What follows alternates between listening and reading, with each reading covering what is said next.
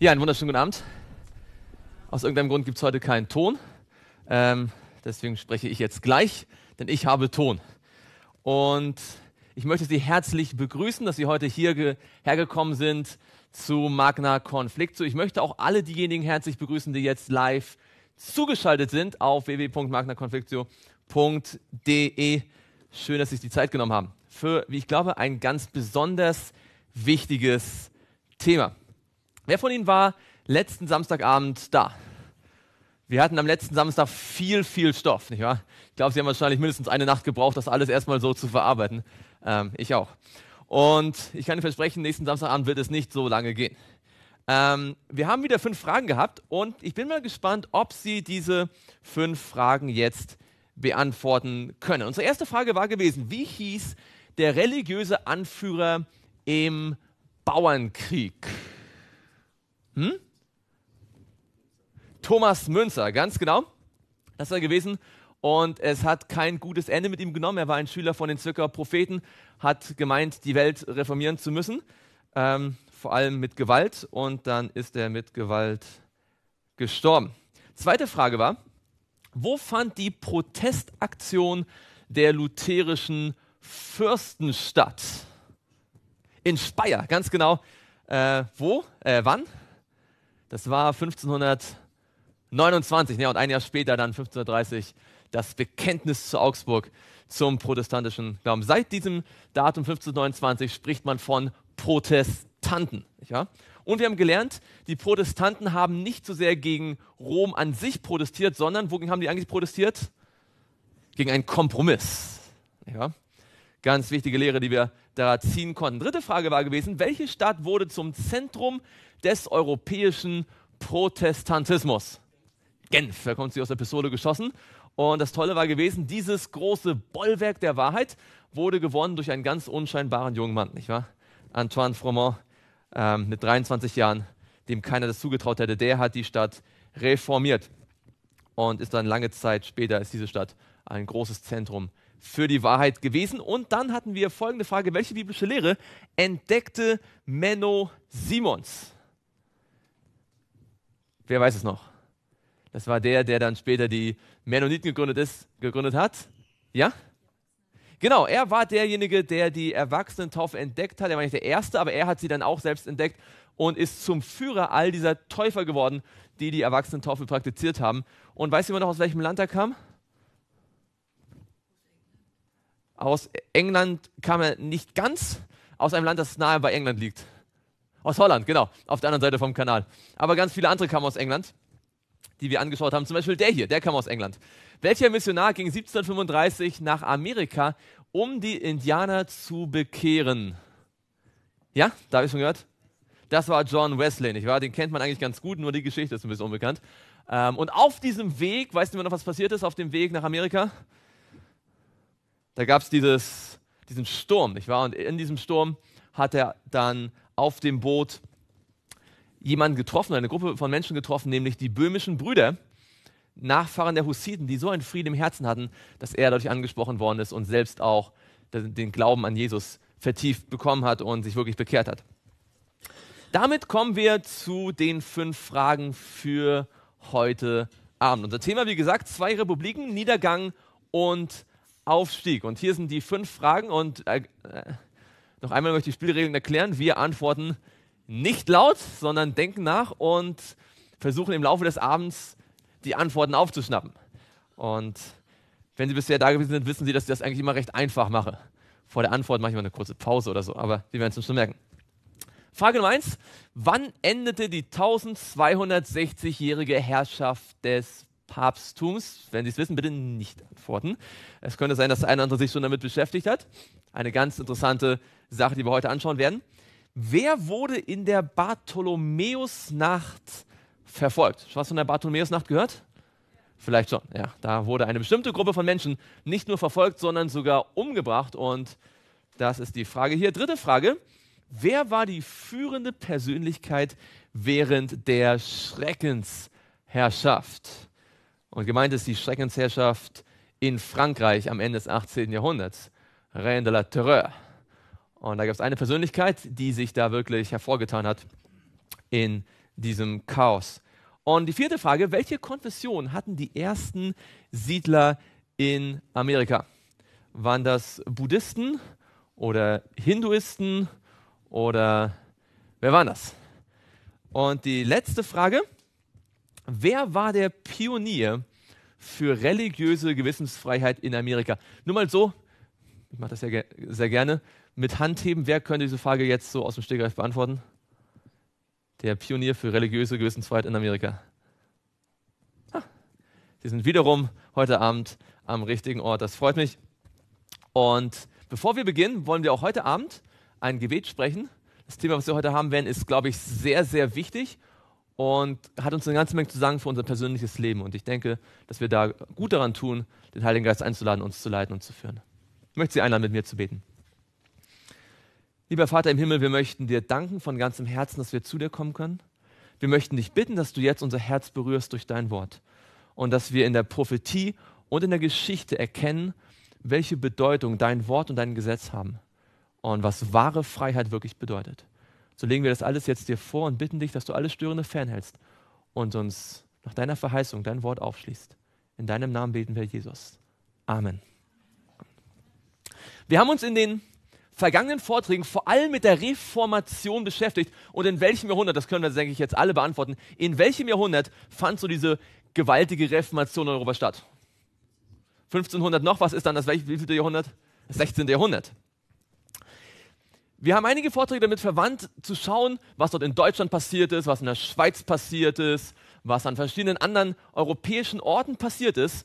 Und wir haben gesehen, dass die Reformation vor allem einige wenige Grundanliegen hatten. Da war zum Beispiel die Forderung allein aus Glauben, nicht wahr? Allein aus Gnade, allein Christus ist unser Heil. Und da gab es noch eine andere Forderung, die war nämlich allein die Bibel. Auf Latein sola scriptura. Und so hat die ähm, Reformation die Bibel den Völkern Europas gebracht. Hier nochmal die, die deutsche Bibel von ähm, Martin Luther. Und wir haben gesehen, dass dort, egal wo die Reformation hinkam, gab es immer mehr oder weniger einen großen Konflikt, einen Magna-Konflikt. So. Manchmal war der sehr gering, wie zum Beispiel in Skandinavien. In manchen Gebieten ging es immer hin und her, wie in Deutschland. Es gab auch manche Gegenden, da kam das Wort Gottes und die Botschaft von der Gerechtigkeit aus Glauben gar nicht wirklich erst hin zum Beispiel Spanien oder auch viele Gebiete Italiens, haben fast gar keine Berührung mit dem Protestantismus bekommen, weil das Wort Gottes dort von vornherein blockiert worden ist. So gab es also Gebiete, wo viel Reformation war, einige, wo wenig. Aber es gibt nur ein Land in Europa, wo die Reformation ständig umkämpft war, wo ständig hin und her ging. Licht und Finsternis über einen langen Zeitraum gekämpft haben, bis am Ende eine Seite gewonnen hat. Weiß jemand, welches Land das gewesen ist? Das war Frankreich.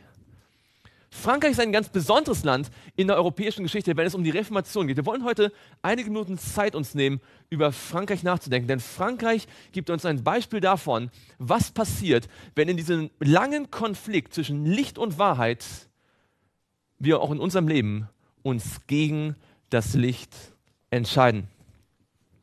In Johannes 3, Vers 19 lesen wir, darin aber besteht das Gericht, dass das Licht in die Welt gekommen ist und die Menschen liebten die Finsternis mehr als das Licht, denn ihre Werke waren böse. Jesus spricht davon, dass es immer wieder vorkommt, dass Licht in unser Leben kommen kann und um unsere Zuneigung buhlt und wirbt und wir uns am Ende doch nach langem Hin und Her für die Finsternis entscheiden. Und genau das ist passiert in der Geschichte von Frankreich. Es ging hin und her. Licht und Finsternis haben miteinander gekämpft. Und die Geschichte Frankreichs zeigt uns ein Beispiel dafür, was passiert, wenn man sich gegen das Licht stellt. Die These, die wir heute aufstellen wollen, und nicht nur aufstellen, sondern begründen wollen, ist die, dass die Politik Roms und der Kampf Roms gegen die Bibel direkt geführt hat zur Französischen Revolution. Wenn man heute über die Französische Revolution redet, was werden so meistens als Gründe genannt? Man ruhig antworten. Welche Gründe werden meistens angeführt für die Französische Revolution? Da wollte man Freiheit haben, nicht wahr? Es ging um Freiheit. Was noch? Brüderlichkeit, nicht wahr? Ja, und dann war noch Gleichheit, genau. Und wird die Revolution meistens heute in einem positiven und einem negativen Licht dargestellt? Positives Licht, nicht wahr? Ein Meilenstein in der Zivilisation. Wir wollen heute mal ein bisschen genauer hinschauen in die Quellen und auch in das, was wirklich passiert ist. Aber dazu wollen wir zunächst einmal zurückgehen auf dieses alte Buch und eine Prophezeiung gemeinsam studieren, die Johannes vor fast 2000 Jahren auf der Gefängnisinsel Patmos bekommen hat im letzten Buch der Bibel in der Offenbarung. Zunächst einmal wollen wir diese Prophezeiung gemeinsam komplett lesen und dann sie uns Stück für Stück zu Gemüte führen. Wir lesen hier in Offenbarung 11 ab Vers 2. Aber den Vorhof, der außerhalb des Tempels ist, lass aus und miss ihn nicht. Denn er ist den Heidenvölkern übergeben worden und sie werden die heilige Stadt zertreten 42 Monate lang. Und ich will meinen zwei Zeugen geben, dass sie weissagen werden, 1260 Tage lang, bekleidet mit Sacktuch. Das sind die zwei Ölbäume und die zwei Leuchter, die vor dem Gott der Erde stehen. Und wenn jemand ihnen Schaden zufügen will, geht Feuer aus ihrem Mund hervor und verzehrt ihre Feinde. Und wenn jemand ihnen Schaden zufügen will, so muss er getötet werden. Diese haben Vollmacht, den Himmel zu verschließen, damit kein Regen fällt in den Tagen ihrer Weissagung. Und sie haben Vollmacht über die Gewässer, sie in Blut zu verwandeln und die Erde zu schlagen mit jeder Plage, so oft sie wollen. Und wenn sie ihr Zeugnis vollendet haben, wird das Tier, das aus dem Abgrund heraufsteigt, mit ihnen Krieg führen und sie überwinden und sie töten. Dann heißt es, und ihre Leichname werden auf der Straße der großen Stadt liegen, die im geistlichen Sinn Sodom und Ägypten heißt, wo auch unser Herr gekreuzigt worden ist. Und viele aus den Völkern und Stämmen und Sprachen und Nationen werden ihre Leichname sehen, dreieinhalb Tage lang, und sie werden nicht zulassen, dass ihre Leichname in Gräber gelegt werden. Und die auf der Erde wohnen, werden sich über die freuen und frohlocken und werden einander Geschenke schicken, weil diese zwei Propheten diejenigen gequält hatten, die auf der Erde wohnen. Und nach den dreieinhalb Tagen kam der Geist des Lebens aus Gott in sie und sie stellten sich auf ihre Füße und eine große Furcht überfiel die, welche sie sahen. Wenn man das zum ersten Mal liest, scheint das alles etwas merkwürdig, nicht wahr? Die Offenbarung ist ein Buch, das nicht immer buchstäblich zu verstehen ist, sondern in Bildersprache, in Symbolen geschrieben ist. Und wir wollen jetzt ein bisschen hineintauchen in diese Bilderwelt der Offenbarung, um zu verstehen, was wir daraus lernen können. Zunächst einmal gehen wir ganz zurück an den Anfang. In Offenbarung 11, Vers 2 steht da etwas von 42 Monaten. Ja? Da soll etwas 42 Monate lang zertreten werden. Und schon im nächsten Vers hatten wir noch eine andere Zeitangabe, nämlich 1260 Tage. Jetzt, wenn Sie mathematisch ein bisschen versiert sind und 42 Monate und 1062 Tage nebeneinander sehen, was für eine Idee bekommen Sie da? Meine Mathematiklehrerin hat mal gesagt, man braucht so einen Blick für Zahlen für sowas, nicht wahr? Haben Sie so einen Blick für Zahlen? Wer meint, er hat einen Blick für Zahlen? Na, gut. Also 42 Monate, 1060 Tage. Welche Vermutung könnte man haben? Ist zumindest ähnlich, nicht wahr? Ähm, interessanterweise sind diese beiden Ausdrücke tatsächlich identisch. Es gibt in der Offenbarung und im Buch Daniel insgesamt drei verschiedene Ausdrucksweisen für ein und denselben Zeitabschnitt. Der kommt siebenmal vor. Äh, in Daniel 7, Daniel 12, Offenbarung 11, hier zweimal, Offenbarung 12, zweimal und Offenbarung 13. Mal heißt es dreieinhalb Zeiten, mal heißt es 42 Monate und mal heißt es 1260 Tage.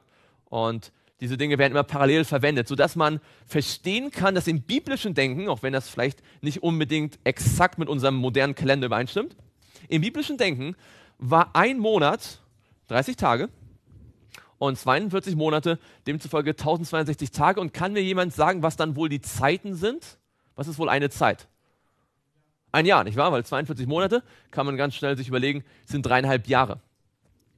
Eine Zeitangabe, die siebenmal vorkommt in diesen bedeutenden Büchern von Daniel Offenbarung und deswegen von uns ernst genommen werden sollte. In Hesekiel 4, Vers 6 und das hatten wir bereits schon mal angesprochen, als wir damals über die zehn Tage Verfolgung geschaut, äh, gesprochen haben. Lesen wir, dass in der biblischen Prophetie ein Tag für ein Jahr gilt. Und wenn diese 42 Monate gleich 1060 Tage sind, dann müssen sie kein Mathe-Genie gewesen sein oder bei einer Mathe-Olympiade die Goldmedaille gewonnen haben, um zu wissen, dass 1260 Tage wie viele Jahre sind. 1260 Jahre. Das Schöne an der Bibel ist, dass man auch als nicht mathematisch Begabter ihre Rechnung gut verstehen kann. Amen. Wir hatten ja am zweiten Vortrag, zweiten und dritten Vortrag, als wir über die sieben Hügel gesprochen hatten, schon mal diese Zeitprophezeiung hier kurz am Rande erwähnt. Da hatten wir darüber gesprochen, dass diese eine, zwei und eine halbe Zeit davon sprechen, von dieser Macht auf den sieben Hügeln, die sich unterstehen würde, Zeiten und Gesetz zu ändern. Kann sich immer noch erinnern, welche Macht war hier angesprochen worden, die auf den sieben Hügeln sitzt? Das war Rom. Und zwar in dieser Form das kirchliche Rom, nicht wahr? Das die Gesetze Gottes ändern würde.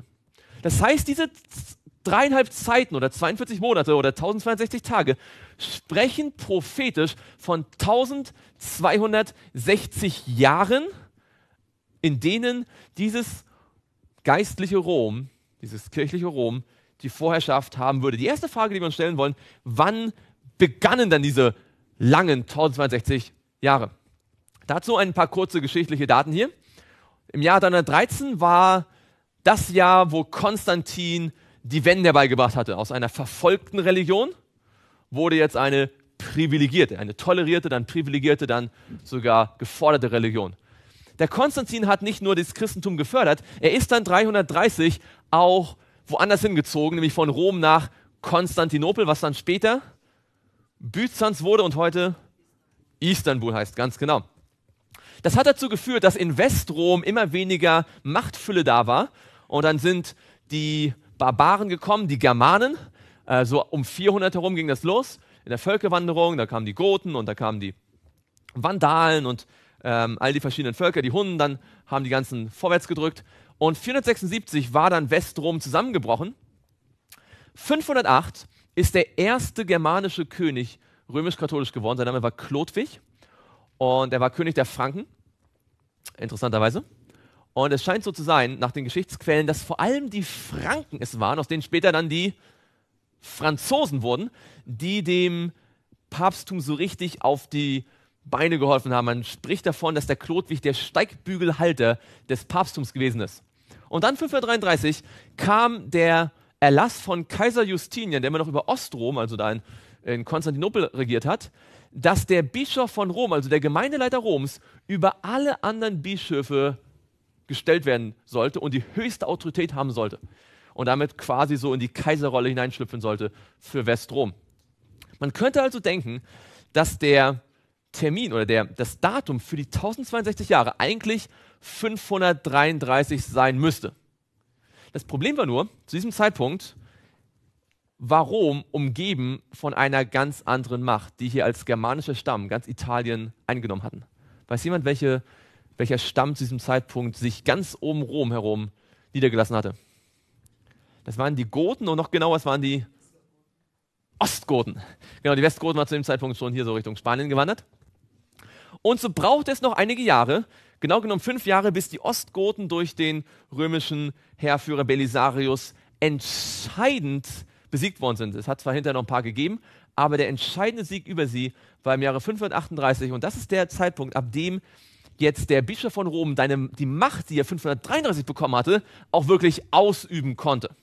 Also der wirkliche Startpunkt, wenn man das historisch anschaut, müsste 538 sein. Jetzt sind sie mathematisch natürlich gut gebildet.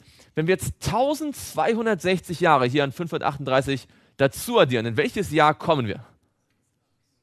Da kommen wir ins Jahr 1798. Und was sollten wir erwarten, was im Jahre 1798 passieren müsste? In irgendeiner Weise sollten da die Herrschaft Roms beendet werden, nicht wahr? Wissen Sie was, mit welchem Tag das Jahr 1798 begann? Mit dem 1. Januar, ganz genau. Und es war am 1. Januar 1798, dass der französische General Berthier den Befehl erhielt, Rom einzunehmen. Mit anderen Worten, die Prophezeiung hat nicht einen Tag gewartet. Es war am 1. Januar, da kommt der Befehl aus Paris. Berthier hat sich zu dem Zeitpunkt in, in äh, Mailand aufgehalten. Und eigentlich hatte schon Napoleon ein Jahr zuvor den Befehl erhalten, Rom einzunehmen. Das sollte schon 1797 geschehen. Und es war auch so geplant vom französischen Direktorium. Aus irgendeinem Grund hat Napoleon das nicht gemacht. Hat einfach auf eigene Faust Frieden geschlossen mit dem Papst. Und naja, hat wahrscheinlich geahnt, dass er damit die Prophezeiung erfüllt hat. Ähm, der Papst hat aber nicht Frieden gehalten und so wurde dann der Befehl erlassen im nächsten Jahr, dass Berthier Rom einnehmen sollte. Da haben wir ihn. General Berthier war immer später ein stolzer Nachfolger von Napoleon. Und hier war der gegenwärtige Papst zu dem Zeitpunkt. Es war Papst Pius der Sechste, der zu diesem Zeitpunkt schon 81 Jahre alt war und bald sein 23. Thronjubiläum feiern wollte. Äh, alter Mann, hier haben wir sein Wappen noch. Und so ist es dann geschehen, dass am 9. Februar General Berthier Rom erreicht hat. Ist erst außen stehen geblieben, hat die, die Stadtmauern kontrolliert und hat darauf gewartet, dass es auch innerhalb von Rom zu einer Revolution kommt. Dass die Patrioten sich gegen den Papst selbst stellen. Das hat aber nicht so richtig funktioniert. Es kam ein einziger Patriot heraus. Der Rest war jetzt nicht so angetan von, dieser Revolution. Naja, und dann musste halt doch ein bisschen die Gewalt her, musste man die Leute zu ihrem Glück zwingen, hat er sich gedacht und ist dann am nächsten Tag in die Stadt einmarschiert, hat aber noch fünf Tage gewartet, bis er dann Richtung Vatikan marschiert ist.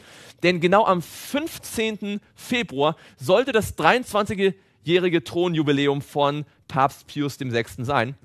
Und just an jenem Tag ist er dann hineingeplatzt und hat dem äh, verdutzten Papst dann in nicht freundlichen Worten mitgeteilt, dass er jetzt abgesetzt ist, dass er nichts mehr zu melden hat. Die Schweizer Garde wurde aufgelöst und die Kardinäle wurden entweder verhaftet oder weggeschickt und der gesamte Kirchenstaat wurde geplündert.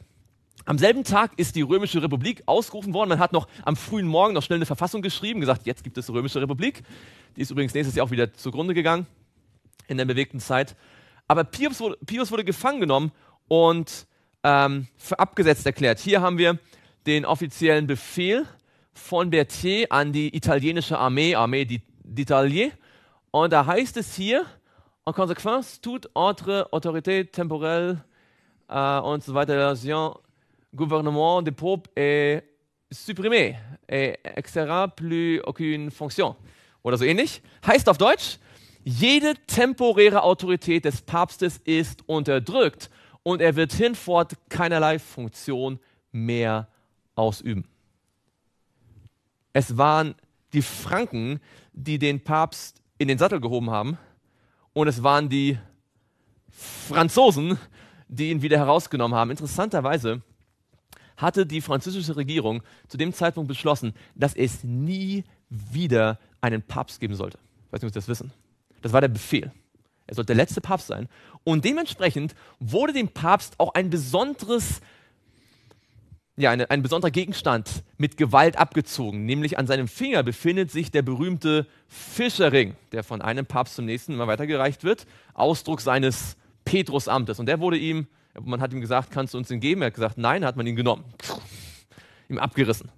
Ausdruck der Tatsache, dass es keinen weiteren Papst mehr geben sollte. Aber nur einen Tag, nachdem er erfahren hat, dass er Rom verlassen müsse, hat er dann dem, dem Finanzier der Armee, Haller, äh, ein bisschen geklagt und sagt, auch, weißt du, ich bin so alt, ich werde bald sterben und es wird ja auch keinen weiteren Papst mehr geben. Könntest du mir trotzdem den, den Ring noch geben? Und aus irgendeinem unerklärlichen Grund hat er am 19. Februar den Ring wieder zurückbekommen. Das hat damals keiner für großartig äh, notizwürdig gehalten. Aber wie wir noch sehen werden, nicht ohne Bedeutung. Am 20. Februar ist dann der Papst um 7 Uhr morgens im Dunkeln unter im strömenden Regen, es soll gewittert haben, aus Rom wegdeportiert worden. Und es gab wohl etliche in Rom, die sehr froh waren. Andere haben wohl geweint. Wie auch immer. Er ist dann an einen Ort gebracht worden, der auf Italienisch Inferno heißt. Weißt du, was Inferno auf übersetzt heißt? Hölle. Genau, er wohnte an einem Ort, der Hölle heißt. Und das hat natürlich die Spötter noch ähm, mehr angeheizt. Und am 26. Februar wurden dann Kirche und Staat in Rom getrennt. Und das sind nur einige Geschichtsdaten, die zeigen, wie präzise sich diese Prophezeiung der 1062 Jahre erfüllt hatte. Und es gab auch etliche Leute, die das sofort erkannt hatten. Hier zum Beispiel ein englischer äh, Jurist mit Namen Edward King. Sein, sein Buch, das er geschrieben hat, war äh, Bemerkung über die Zeichnerzeit und dann sagt er im Jahre 1798, hier sieht man das vielleicht, 1798, in London erschienen. Als er das gehört hat, anhand der Prophetie sagt er, we have reason to apprehend then that the 1206 years are now completed. Und er hat gesagt, wir haben also Grund zu verstehen, dass die 1062 Jahre sich jetzt erfüllt haben. Und dann, dann gibt er noch die Gründe, warum und so weiter. Und dann sagt er, und wenn diese Dinge so sind, dann ist wirklich die große Stadt Babylon gefallen, ist gefallen und sie soll nicht mehr gefunden werden. Und dann sagt er, und es bleibt nichts anderes übrig, als auf das Ende zu warten. Man hat das damals erkannt, dass die Prophezeiung der Bibel sich ganz klar erfüllt hatte. Es wurde dann, wie gesagt, der Fischerring wurde dem Papst zurückgegeben, er ist 1799 gestorben, aber schon 1800 ist der nächste Papst ganz geheim unter österreichischer ähm, Aufsicht gewählt worden, Papst Pius VII. Er hatte längst nicht mehr die Macht, die war dahin. Die Macht hatte jetzt der hier, weiß jemand, wer das ist? Aber Napoleon, nicht wahr? Papst hat nichts mehr zu melden, durfte nicht mal mehr den Napoleon krönen. Das hat er selbst gemacht. Ähm, aber das Papsttum wurde nicht völlig ausgelöscht. Nur so schon mal als kleiner Hinweis auf das, was noch folgen wird. Also diese 1260 Jahre haben sich ganz präzise erfüllt. Und diese 1260 Jahre sollten eine Zeit sein, in der die Kirche Gottes verfolgt werden würde durch diese finstere Macht auf den sieben Hügeln. Aber Jesus hatte auch gesagt, dass jene Zeit verkürzt werden würde. Er sagt, wenn jene Tage nicht verkürzt würden, so würde kein Fleisch gerettet werden. Aber um der Auserwählten willen sollen jene Tage verkürzt werden. Es ist interessant, dass obwohl die 1260 Jahre erst 1798 zu Ende waren, schon die letzten 20, 30 Jahre es eigentlich keine Verfolgung mehr gab. Ende 18. Jahrhundert hatte die Verfolgung fast aufgehört. Und das hatte natürlich damit zu tun, dass die Reformation immer mehr sich ausgebreitet hat und immer mehr an Stärke gewonnen hat an vielen Orten und damit ja, der Verfolgung etwas entgegenzusetzen hatte. Schauen wir weiter in der Prophezeiung. Es heißt hier in Offenbarung 11, Vers 3, und ich will meinen zwei Zeugen geben, dass sie weissagen. Jetzt wollen wir verstehen, wer sind diese beiden Zeugen? Es heißt von diesen beiden Zeugen, es sind zwei Ölbäume und zwei Leuchter. Was ist ein Leuchter? Ein Leuchter gibt Licht, ganz einfach. Und die Bibel erklärt sich immer selbst. Im Psalm 119, Vers 105 heißt es, dein, was? Dein Wort ist meines Fußes Leuchte. Da gab es also zwei Leuchter. Und die Bibel sagt, dein Wort ist meine Leuchte. Gibt es in der Bibel zwei Leuchter? Die Bibel ist, das werden Sie wahrscheinlich wissen, auch wenn Sie sich nicht viel mit der Bibel bisher beschäftigt haben, ein zweigeteiltes Buch. Es fällt nämlich in genau zwei Teile, nämlich das Alte und das Neue Testament. Und Testament heißt ja nichts anderes, als dass man Zeugnis gibt. Und Jesus selbst hat das gesagt. Er hat gesagt, dass nicht nur das Neue Testament von ihm Zeugnis gibt, sondern auch das Alte. Er spricht hier von den alten testamentlichen Schriften und sagt, ihr forscht die Schriften, weil ihr meint, in ihnen das ewige Leben zu haben. Und sie sind es, die von mir Zeugnis geben. Die Bibel bezeugt Jesus. Und in dieser Prophezeiung wird von diesen beiden Zeugen vom Alten und Neuen Testament gesprochen. Das Alte Testament bezeugt Jesus quasi im Voraus. All die verschiedenen Dinge, die Geschichten, die Opfer, die Typologien sollten vorausweisen auf Jesus. Wann immer Sie das Alte Testament lesen, lesen Sie etwas über Jesus, was noch kommen würde. Und wann immer wir das Neue Testament lesen, lesen wir etwas, was gewesen ist. Das Neue Testament weist zurück auf das Leben Jesu, auf seinen Tod und auf all das, was er getan hat. So sind Altes und Neues Testament zwei Leuchter, die von zwei Seiten auf das Leben von Jesu, auf sein Sterben und sein Wirken weisen. Aber die Bibel sagt, dass während dieser 1062 Tage von, was war das Anfangsdatum? 538 bis 1798, dass diese zwei Leuchter in Sacktuch bekleidet worden sind. Wer von Ihnen hat schon mal Sacktuch angehabt? Wann zieht man Sacktuch an? Sind Sie mal im Sacktuch, jemand gesehen, der, der im Sacktuch zur Hochzeit kommt?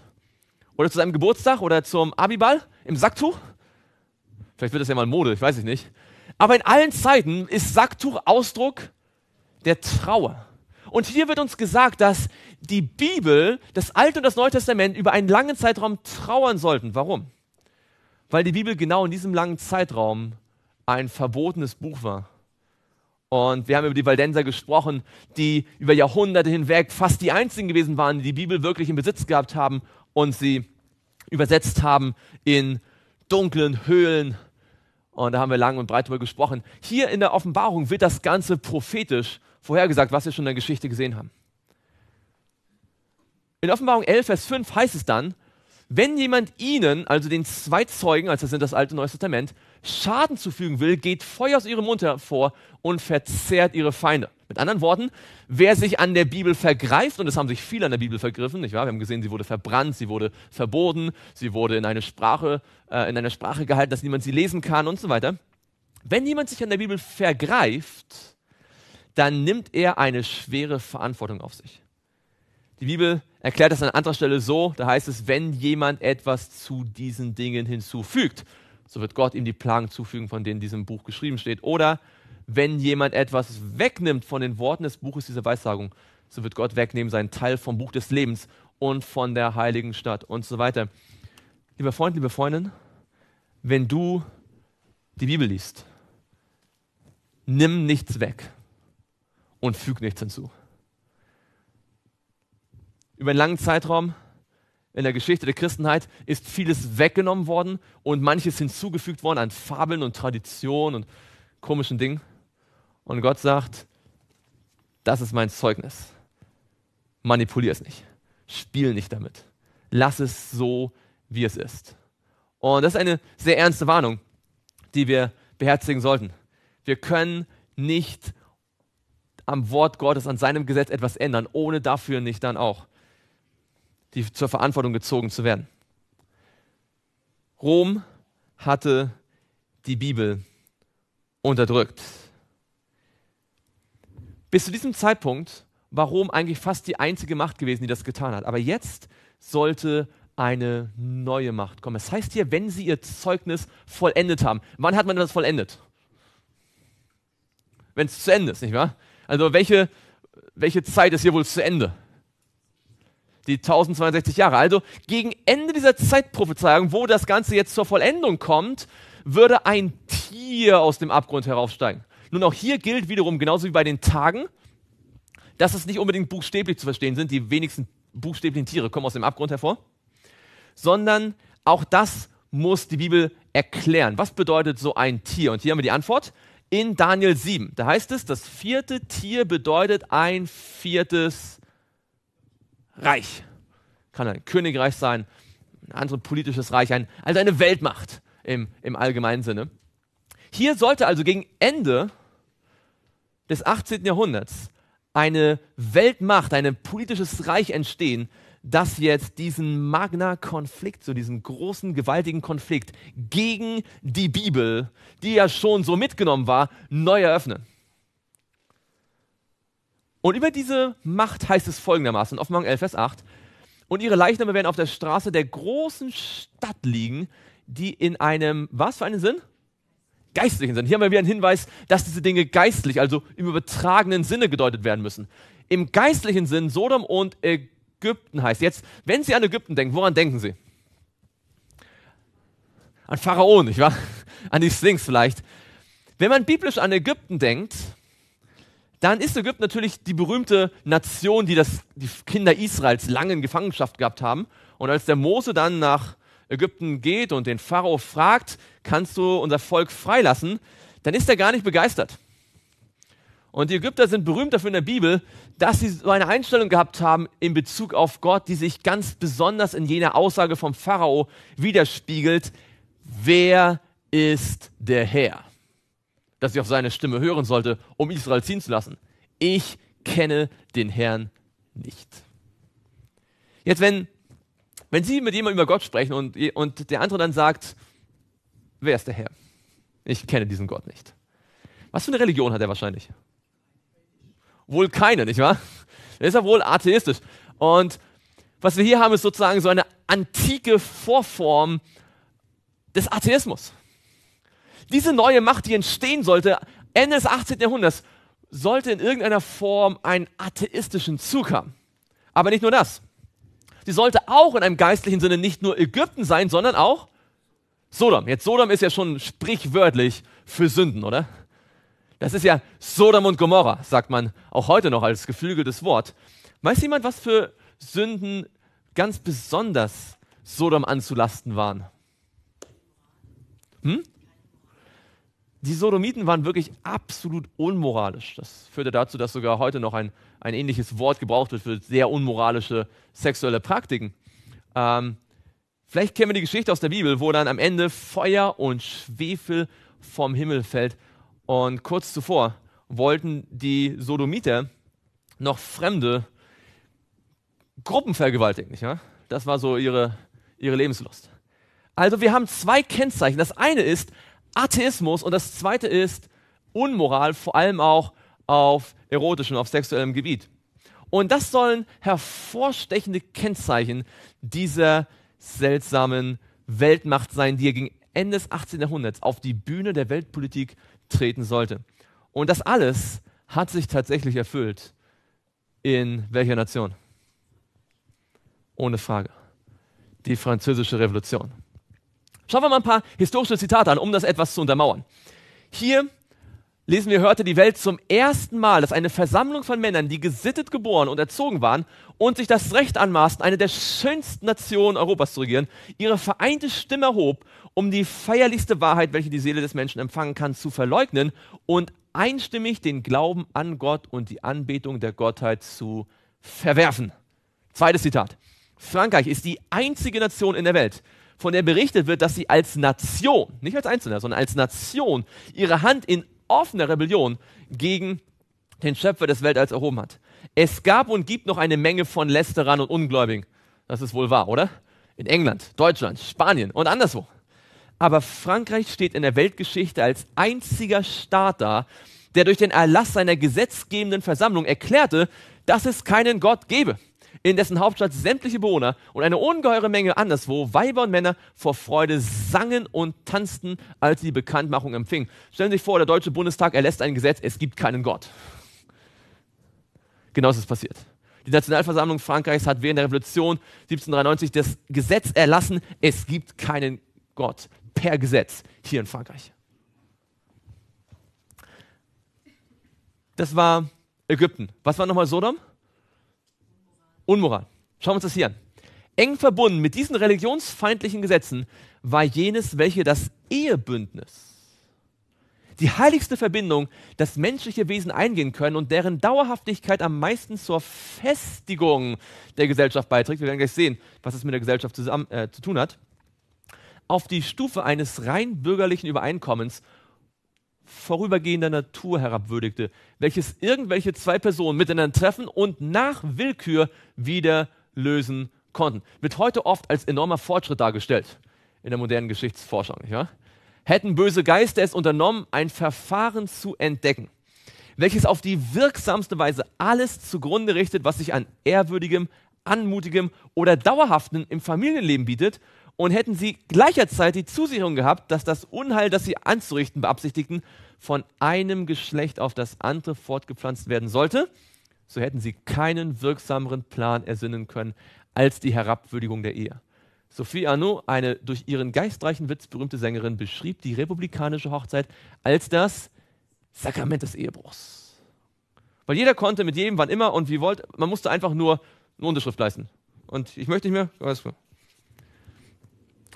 Und entsprechend hat sich innerhalb weniger Jahre in Frankreich die Gesellschaft völlig aufgelöst. Aber dazu gleich mehr.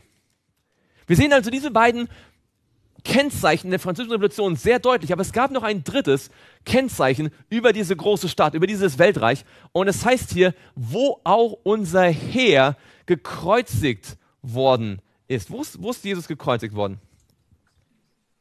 Jerusalem, das stimmt. Genau, auf Golgatha. Das war der Ort, wo alle Sünde der Welt an einem Ort war, nicht wahr? Und wo Jesus geschlagen und verfolgt wurde. Nun, Frankreich hat niemals den buchstäblichen Jesus ans Kreuz gebracht, oder?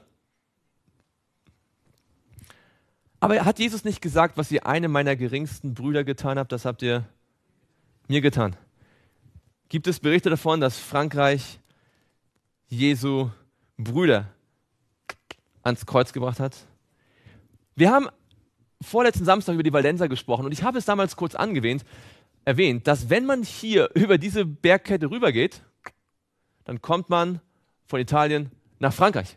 Und auf der anderen Seite, da wohnt nicht die Valdenser, da wohnten die sogenannten Albigenser. Und die lebten zur gleichen Zeit wie die Waldenser, hatten ähnliche Glaubensüberzeugungen und wurden im Gegensatz zu den Waldensern im 13. Jahrhundert vollkommen ausgerottet. Vollkommen. Gab einen Kreuzzug im 13. Jahrhundert, der sie ausgerottet hat. Hier sehen wir einige, die äh, die Festung Carcassonne verlassen müssen. Und dann haben wir schon darüber gesprochen, wie dann auch in späteren Jahrhunderten die Reformatoren Frankreichs in einer Art und Weise aus dem Land geprügelt worden sind, wie es in keinem anderen Land der Fall war. Wir haben über Lefebvre gesprochen. Weiß jemand noch, wer das war? Der Schüler von Lefebvre? Traut sich jemand? Ist ja nur drei Tage her.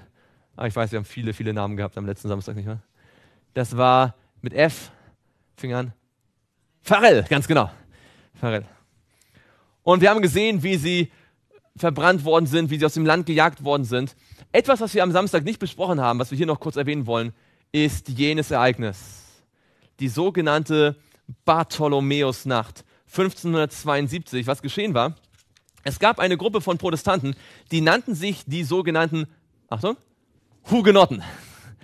Und diese Hugenotten waren auf Kriegsfuß mit der herrschenden römischen Partei dort in Frankreich.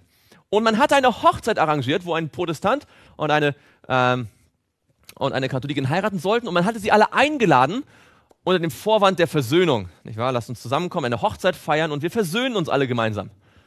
Und dann in der Nacht vom 23. August zum 24. August wurde aus der Versöhnung das hier. Eine Adlige gab den Befehl und es wurden innerhalb von Stunden und Tagen zigtausende von Protestanten in Paris brutal niedergemetzelt. Hier sieht man sie, wie sie das Werk dann begutachtet. Und man sagt, dass in den folgenden Tagen und Wochen, das, das ging dann auf ganz so wellenförmig von Paris auf ganz Frankreich über, etwa 70.000 Hugenotten umgebracht worden sind. Interessanterweise kann man auch lesen, wie man in Rom darüber gedacht hat, als die Nachricht von dem Blutbad Rom erreichte, kannte die Freude der Geistlichkeit keine Grenzen. Der Kardinal von Lothringen belohnte den Boten mit 1000 Kronen.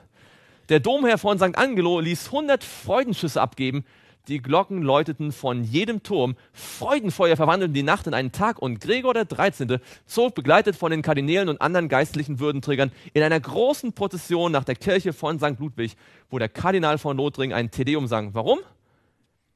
Weil zigtausende Protestanten kaltblütig gegen bessere Vereinbarungen niedergemacht worden waren. Das war die Realität im 16. Jahrhundert. Zur Erinnerung an das Gemetzel wurde eine Gedenkmünze geprägt und im Vatikan kann man drei Freskogemälden von Vasari sehen, welche den Angriff auf den Admiral, den König, wie er im Rate das Hinschlachten plante und das Blutbad selbst darstellen. Gregor sandte Karl die goldene Rose und hörte vier Monate später ruhigen Gemüts die Predigt eines französischen Priesters an, der von jenem Tage des Glücks und der Freude sprach, als der heilige Vater die Nachricht empfing und höchst feierlich hinging, um Gott und Sankt Ludwig seinen Dank darzubringen. Hier sieht man die Münze, die geprägt worden ist. Das ist Gregor der Achte. Und hier sieht man die Protestanten und hier sieht man wen? Einen Engel. Der trägt ein Kreuz und ein Schwert und schlachtet diese widerlichen Hugenotten alle ab. Das ist die Realität im 1800 gewesen. Und der französische König wurde beglückwünscht, dieser weisen Entscheidung, sein Wort nicht zu halten und sie alle in kalten Blut zu ermordet zu haben. Und das war der Geist, der sich zurückgezogen hat bis zur Französischen Revolution. Weiß jemand, wer das ist? Das ist Voltaire. Und er hat die Angewohnheit gehabt, seine Briefe zu unterschreiben mit den Worten, vernichtet den Schurken. Gemeint war mal Christus, vernichtet ihn. Vernichtet den Schurken. Und als dann 1794 die Massen sich gegenseitig umgebracht haben, da gab es einen Schrei auf den, auf den Straßen von Paris, vernichtet den Schurken. Es heißt, dass dieses Tier, das aus dem Abgrund heraufsteigen wird, diese französische Revolution, würde mit ihnen, wer sind ihnen? Die zwei Zeugen mit der Bibel Krieg führen, uns überwinden und sie töten. Wir haben schon gesehen, dass die französische Verfassung oder die französische Nationalversammlung 1793 entschieden hatte, es gibt keinen Gott. Aber damit nicht genug. Die Bibeln wurden eingesammelt, wurden dann an öffentliche Stellen gebracht und was hat man wohl mit ihnen gemacht? Man hat sie allesamt verbrannt, hat sich gefreut, dass man endlich, dass die Bibel los ist. Man hat aber nicht nur die Bibel verbrannt, man wollte die Menschen so wirklich von der Bibel entfernen. Weißt du, was das hier ist? Das ist ein französischer Revolutionskalender. Ich habe eine Kalenderuhr. Diese Kalenderuhr soll sozusagen die Tage darstellen, mit 30 Tage. Und was ist das Besondere hier? Diese 30 Tage sind nicht, sind keine, es ist keine Siebener-Einheit, es ist eine Zehner-Einheit. Man hat damals versucht, die Sieben-Tage-Woche in eine Zehn-Tage-Woche zu ändern. Warum? Naja, Sieben-Tage-Woche kommt halt woher? Nicht vom Mond, nicht von der Sonne, wie alles andere, sondern aus der Bibel.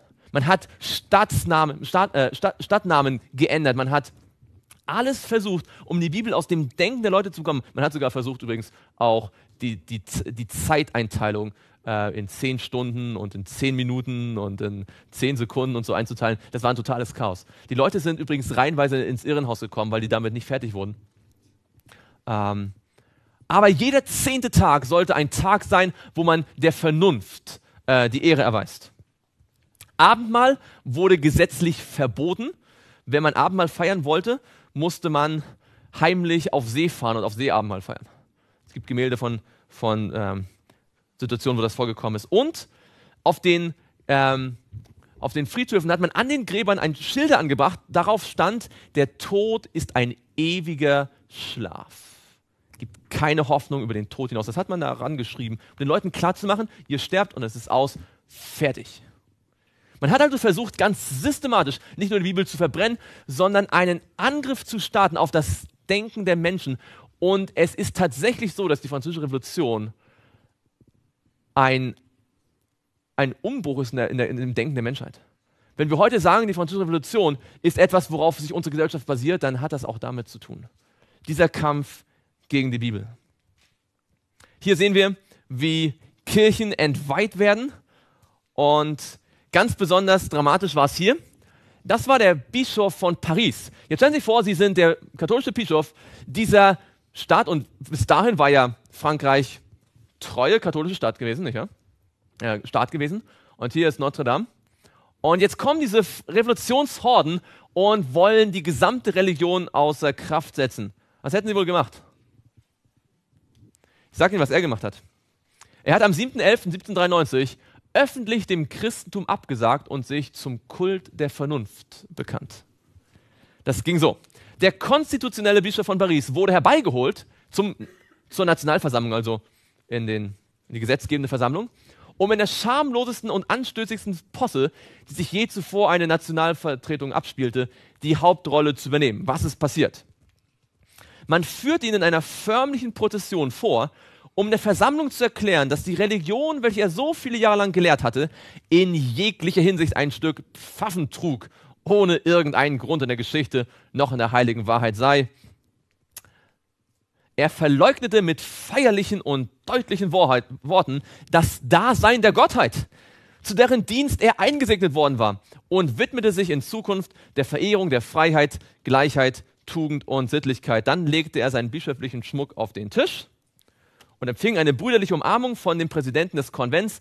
Verschiedene abgefallene Priester folgten dem würdelosen Beispiel dieses Prälaten. Übrigens, es hat ihm nichts genützt, als ein Jahr später ein Mann namens Robespierre zumindest wieder ein höheres Wesen anbeten wollte, galt der reine Atheismus wieder etwas verächtlich und dieser Priester wurde dann doch unter die Guillotine gebracht, weil er zu atheistisch war. Ähm, nur mal so als Nebeninformation es lohnt sich niemals, seinen Glauben aufzugeben, auch wenn es vielleicht nicht mal der, der reinste Glauben gewesen ist. Es heißt in Offenbarung 11, Vers 10, und die auf der Erde wohnen, werden sich über sie freuen und frohlocken und werden einander Geschenke schicken. Das, weil diese zwei Propheten diejenigen gequält hatten. Diese zwei Propheten sind die zwei Zeugen. Wer sind nochmal die zwei Zeugen? Altes Neues Testament. Hat sich jemand schon mal gequält gefühlt von der Bibel?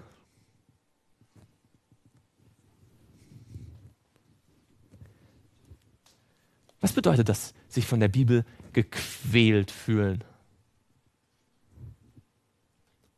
Wir haben uns halt schon mal Bibel gelesen und irgendwie ein ungutes Gefühl gehabt. Ja, die Bibel, die, die schlägt eigentlich, nicht wahr? Die Bibel hat auch keine Guillotine. Aber die Bibel weist immer wieder hin auf das Gewissen, nicht wahr? Und manchmal quält einen das Gewissen. Und man hat dann meistens zwei Optionen. Was sind die zwei Optionen? Entweder ich entscheide mich für das, was Gott gesagt hat, oder ich mache die Bibel zu und sage, brauche ich nicht. Ende aus der Diskussion. Und dann geht es mir gut, oder? Dann bin ich frei, dann, dann habe ich ja keine Beschränkung mehr. Und genau das, was wir manchmal so oft im Kleinen erleben in unserem Leben, spielte sich im großen national in Frankreich ab. Bis dahin hatte man ja immerhin noch angenommen, dass die Bibel Gottes Wort irgendwie ist, auch wenn man sie nicht lesen wollte oder nicht lesen, lesen konnte. Aber man hatte immer noch eine gewisse Verehrung für die Bibel. Jetzt hat man sie einfach abgelehnt, weil man mit dieser Sündenschuld nicht mehr fertig geworden ist und einfach gesagt, wir haben keine Sünde, es gibt keine Sünde, es gibt keinen Gott. Ende aus. Jetzt geht uns gut. Viele Menschen versuchen, wenn sie mit der Wahrheit in Kontakt kommen, sich einfach für die Gegenseite zu entscheiden, um ihr Gewissen zu beruhigen und denken, dann ist alles gut. Aber wenn das vielleicht auch heute in ihrem oder in deinem, lieber Freund, lieber Freund, in deinem Kopf ist, du sagst vielleicht, ah, ich möchte nicht aller Wahrheit folgen, ich möchte einfach frei sein, dann pass jetzt die nächsten Minuten auf, was diese Freiheit bedeutet. Denn die französische Revolution ist ein Beispiel dafür, was passiert, wenn wir uns gegen offenbartes Licht wissentlich entscheiden. Psalm 73 war sozusagen ihr Motto. Sie sagen, wie sollte Gott es wissen? Schauen Sie mal, was einer dieser Vernunftpriester ausgerufen hat. Gott, so du existierst, räche deinen beleidigten Namen. Ich biete dir Trotz. Du schweigst, du wagst es nicht, deinen Donner zu schleudern. Wer wird hinfort an dein Dasein glauben? Stellen Sie sich vor, durch die Straßen von Paris gehen diese Priester der Vernunft und schreien zum Himmel, Gott, wo bist du? Wir fordern dich heraus. Zeig dich doch. Donnerst du nicht? Die Leute schreien, ja, ja, es gibt keinen Gott, wir sind frei. Das war alles nur Fanatismus, war alles nur Tradition, war alles nur Unfug. Jetzt sind wir intelligent. Klingt fast ein bisschen so wie der moderne Mensch, nicht wahr? Der sagt, brauche ich nicht. Das ist alles nur Fabeln. Für, für die Schwachen ist das. Für die, die das Licht der Wahrheit nicht ertragen können, die mit dem Leben nicht zurande kommen. Gott, wo bist du denn? Achtung, aufgepasst. Das war nichts anderes als das, was der Pharao gesagt hat. Und dem Pharao ist das nicht gut bekommen, wenn Sie die Geschichte kennen. Wenn nicht, lesen Sie nach in 2. Mose. Die Bibel sagt im Psalm 14, Vers 1, der, der was? Der Narr spricht in seinem Herzen, es gibt keinen Gott. Jetzt, was ist ein Narr? Ein anderes Wort für ein Narr. Ein dummer Mensch, jemand, der nicht wirklich denken kann. Die Bibel sagt, wenn jemand seinem Herzen sagt, es gibt keinen Gott, dann ist er in Wirklichkeit ein sehr dummer Mensch, ein Narr. 2. Timotheus sagte uns aber, sie werden es nicht mehr viel weiterbringen, denn ihre Torheit wird jedermann offenbar werden. Hier sind wir in den Anfangsjahren der Französischen Revolution und man hat, schmeißt alles über den Haufen und sagt, Gott, wo bist du? Zeige dich. Die Bibel sagt, sie werden es nicht viel weiterbringen, ihre Torheit wird jedermann offenbar werden. Hat sich das erfüllt? Schauen wir mal nach. Es hat nicht lange gedauert, da hat man doch wieder Anbetung angeführt. Und zwar folgendermaßen. Eine der Zeremonien dieser wahnsinnigen Zeit ist unübertroffen in ihrer geschmacklosen Art verbunden mit Gottlosigkeit. Die Tore des Konvents wurden einer Schar von Musikanten geöffnet, deren feierlichem Zug die Mitglieder der Stadtbehörde folgten, während sie ein Loblied auf die Freiheit sangen. Nicht wahr? Die haben, oh ja, ja. Weinselig hat man Massenparaden abgehalten und hat die Freiheit besungen. Und als Gegenstand ihrer zukünftigen Anbetung eine was? Verschleierte Frau geleiteten, die sie die Göttin der Vernunft nannten. Jetzt kam sie, diese schöne Frau verschleiert, die Göttin der Vernunft. Als man sie innerhalb der Schranken gebracht, mit großer Förmlichkeit, was? Entschleiert hat, nicht denken, so dann, nicht wahr? und zur Rechten des Präsidenten hingesetzt hatte, erkannte man sie allgemein als eine Tänzerin aus der Oper. Das ist ungefähr so wie eine Popsängerin heute. Das wäre so das, das Äquivalent. Ja, so bekannte Frau, naja, leichte Moral, leicht bekleidet, ja. so eine Blondine, die da ent entkleidet wird und sich dann ganz entzückt neben den Präsidenten setzt. Und das war die Göttin der Vernunft. Na, sowas würden wir heute nicht mehr anbeten, oder? Wir sind jetzt so aufgeklärt. An den Gott zu glauben? Wir beschäftigen uns mehr mit den Sternchen dieser Welt und ihren völlig sinnlosen Lebensgeschichten. Diese Person, der passendsten Vertreterin jener Vernunft, die man anbetete, huldigte die Nationalversammlung. Das sind nicht irgendwelche Spinner gewesen, das waren die Politiker, das waren die, die Parteien. Öffentlich. Diese gottlose und lächerliche Maskerade war eine gewisse Modeerscheinung und die Einsetzung der Göttin der Vernunft wurde in der ganzen Nation an allen Orten erneuert. Und nachgeahmt, wo die Bewohner zeigen wollten, dass sie der Revolution in gleicher Weise zustimmten. Weiß jemand übrigens, was aus dieser Frau geworden ist? Das, die Geschichte kennt, kennt jeder.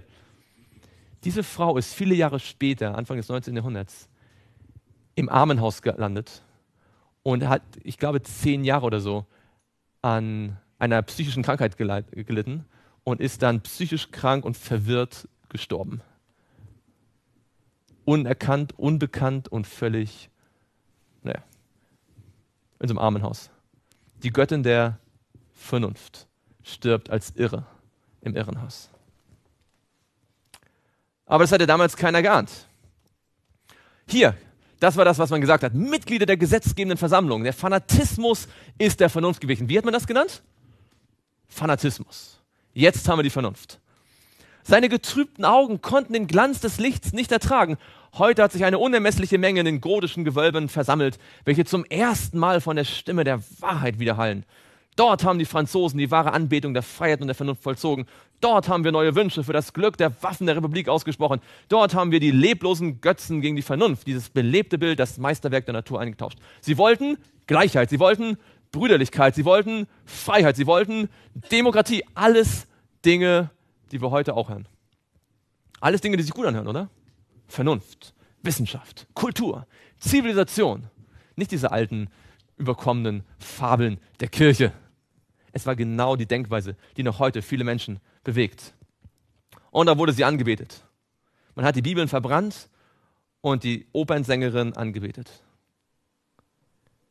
Und das Ganze geht zurück auf Rom. Warum? Schauen wir uns das mal ein bisschen genauer an. Was war die Politik Roms gewesen?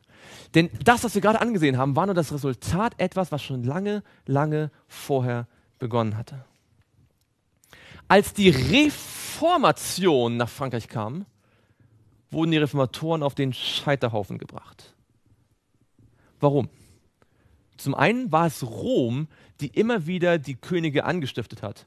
Und die Könige selbst hatten Angst, denn ein Volk, das die Bibel liest, wird selbstständig. Ja? Ein Volk, das frei entscheiden kann, was es glaubt, ist vielleicht schlechter zu kontrollieren als eine Masse, die, der man Fabeln erzählen kann. Und so hat schon im 16. Jahrhundert der Papst hier Clemens VII. Folgendes an den Franz I., den König, geschrieben. Diese Tollwut der Protestantismus wird nicht nur die Religion verwirren und verderben, sondern außerdem auch alle Fürsten und Adelswürden, Gesetze, Orden und Rangunterschiede. Als die Reformation kam, sagte Rom, ihr müsst den Protestantismus vernichten, ansonsten gehen die Fürstenwürden zugrunde, die Adelswürden gehen zugrunde, die Gesetze gehen zugrunde, die Orden und die Rangunterschiede. Was haben die, die Könige gesagt? Also wir wollen auf jeden Fall was behalten? Fürstenwürde, Adelswürde, Gesetze, Orden und Rangunterschiede, dann müssen wir auf jeden Fall den Protestantismus vernichten. Ein anderer hatte gesagt, Sir, täuschen Sie sich nicht, die Protestanten werden die bürgerliche wie die religiöse Ordnung untergraben. Der Thron ist ebenso in Gefahr wie der Altar. Die Einführung einer neuen Religion bringt notwendigerweise die einer neuen Regierung mit sich. Es war Rom, das gesagt hat, haltet die Reformation auf, ansonsten bricht alles zusammen. Was die französischen Könige nicht wussten, ist das, was die Bibel sagt. Gerechtigkeit macht was? Erhöht ein Volk. Was war die Botschaft von Martin Luther gewesen? Gerechtigkeit aus Glauben. In der Reformation ging es darum, wie kann man Gerechtigkeit erlangen? Wie kann ich gerecht vor Gott sein? Das war die Frage von Wycliffe, von Huss, von Luther, von Tyndale, von Zwingli, von Wesley, von all denen. Sie wollten Gerechtigkeit haben. Und diese Gerechtigkeit wurde untergraben und wurde bekämpft. Aber diese Gerechtigkeit hätte ein Volk erhöht. Lieber Freund, liebe Freunde, Gerechtigkeit erhöht uns. Und wenn wir sie bekämpfen, dann müssen wir uns nicht wundern, was mit uns passiert. Es heißt denn, durch Gerechtigkeit wird ein Thron befestigt. Es hätte nichts Besseres für Frankreich gegeben als die Reformation. Nichts hätte den Staat so sicher gemacht wie die Reformation. Es heißt in Jesaja 32, das Werk der Gerechtigkeit wird Friede sein und der Ertrag der Gerechtigkeit Ruhe und Sicherheit auf ewig. Aber wenn Gerechtigkeit Ruhe und Sicherheit bringt und ich Gerechtigkeit unterdrücke, was bekomme ich dann? Unruhe und Krieg. Und genau das ist passiert. Man hat die Protestanten aus dem Land gejagt. Hier wurden die Hugenotten 1685 per, per königlichem Dekret aus dem ganzen Land herausgetrieben. Man hatte sie verfolgt, man hatte sie umgebracht und irgendwann muss, wurden sie ausgewiesen. Die Hugenotten sind dann nach Deutschland und nach Italien und an die Schweiz geflohen. Das Dumme war nur, dass die Hugenotten die fleißigsten Bürger waren. So wie schon die Waldenser. Und, da werden wir später noch drauf kommen. Als diese Hugenotten flohen, blieb das Land verarmt zurück. Es gab kaum noch Fachkräfte. Man sagt, dass vor der Revolution Paris ein einziges Armenhaus gewesen ist. Allein 200.000 Bettler haben direkt von den Almosen des Königs gelebt. 200.000 in Paris. Das Land war völlig ausgelaugt. Es gab nur eine Gruppe von Menschen, die wirklich fest im, im, im im Sattel saßen. Das waren die hier, die Jesuiten. Sie haben die, die Schulen beherrscht, sie haben die Kirchen beherrscht, sie hatten alles im Griff. Der Staat ging vor die Hunde, weil man über 250 Jahre hinweg die Protestanten, die wirklich fleißig waren, die selbst denken konnten, die dem König gedient hätten, denn wer Gott gehorcht, wird in weltlichen Fragen auch der Obrigkeit gehorchen. Die hat man aus dem Land gejagt. Man hat all das aus dem Land gejagt, was einem Sicherheit gebracht hätte. Lieber Freund, lieber Freundin, wenn wir die Bibel aus unserem Leben verjagen, dann verjagen wir unsere eigene Sicherheit. Wir verjagen unseren eigenen Wohlstand. Wir verjagen all das, was uns Glück und Freude bringt. Je mehr wir uns gegen die Bibel entscheiden, desto mehr entscheiden wir uns gegen unser eigenes Glück. Und diese Bilder kennt man dann vielleicht aus dem Geschichtsunterricht. Das ist kurz vor der Revolution. Das ist nicht die Ursache der Revolution, das ist schon das Resultat der Ursache. Der normale Geschichtsunterricht, die normale Geschichtswissenschaft fängt hier an und sagt, oh, da gab es Missstände in der Bevölkerung. Der dritte Stand, schon mal gehört? Der dritte Stand. Die armen Bauern und, und Kleinbürger, die mussten den Adel und den, und den Klerus tragen. Das waren die Ursachen der Revolution. Nein, das war nur das Resultat der Tatsache, dass man vor die Protestanten aus dem Land getrieben hat. Deswegen kam es so weit. Am Hof herrschte die totale Verschwendung. Weiß jemand, wer das ist? Der Sonnenkönig, Louis XIV. Und das ist Versailles, nicht wahr? Und das ist sein, sein Nachfolger, Louis XV., ähm, besonders berüchtigt für seine vielen Mätressen, die er gehabt hat. Und er hat ein, ein riesiges Heer unterhalten, hat sich nicht um die Bevölkerung gekümmert. Und als dann der Staatsbankrott klar war, hat er etwas ganz Berühmtes gesagt. Nach mir die Sintflut. Interessiert mich nicht. Sollen noch die anderen fertig werden. Hauptsache uns geht es gut. Er hat seinen Beratern wohl tatsächlich gesagt, sorg dafür, dass dir Finanzen wenigstens noch so lange halten, solange ich am Leben bin. Danach ist mir egal. Tja, als er dann starb, da ging es los. Rom hatte gedacht, dass wenn man den Protestantismus unterdrückt, dass man das ganze Volk im Griff haben kann. Aber in dieser einen Sache hatte sich Rom getäuscht. Denn plötzlich ging es Rom selbst an den Kragen. Plötzlich waren sie selbst die Opfer. Denn wenn man immer nur Ungerechtigkeit und Unterdrückung und Verfolgung sieht, dann erntet man genau das. Und irgendwann war der Tropfen, hat der Tropfen den Stein ganz ausgeholt. Irgendwann war das Fass zum Überlaufen voll und der Volkszorn brach aus.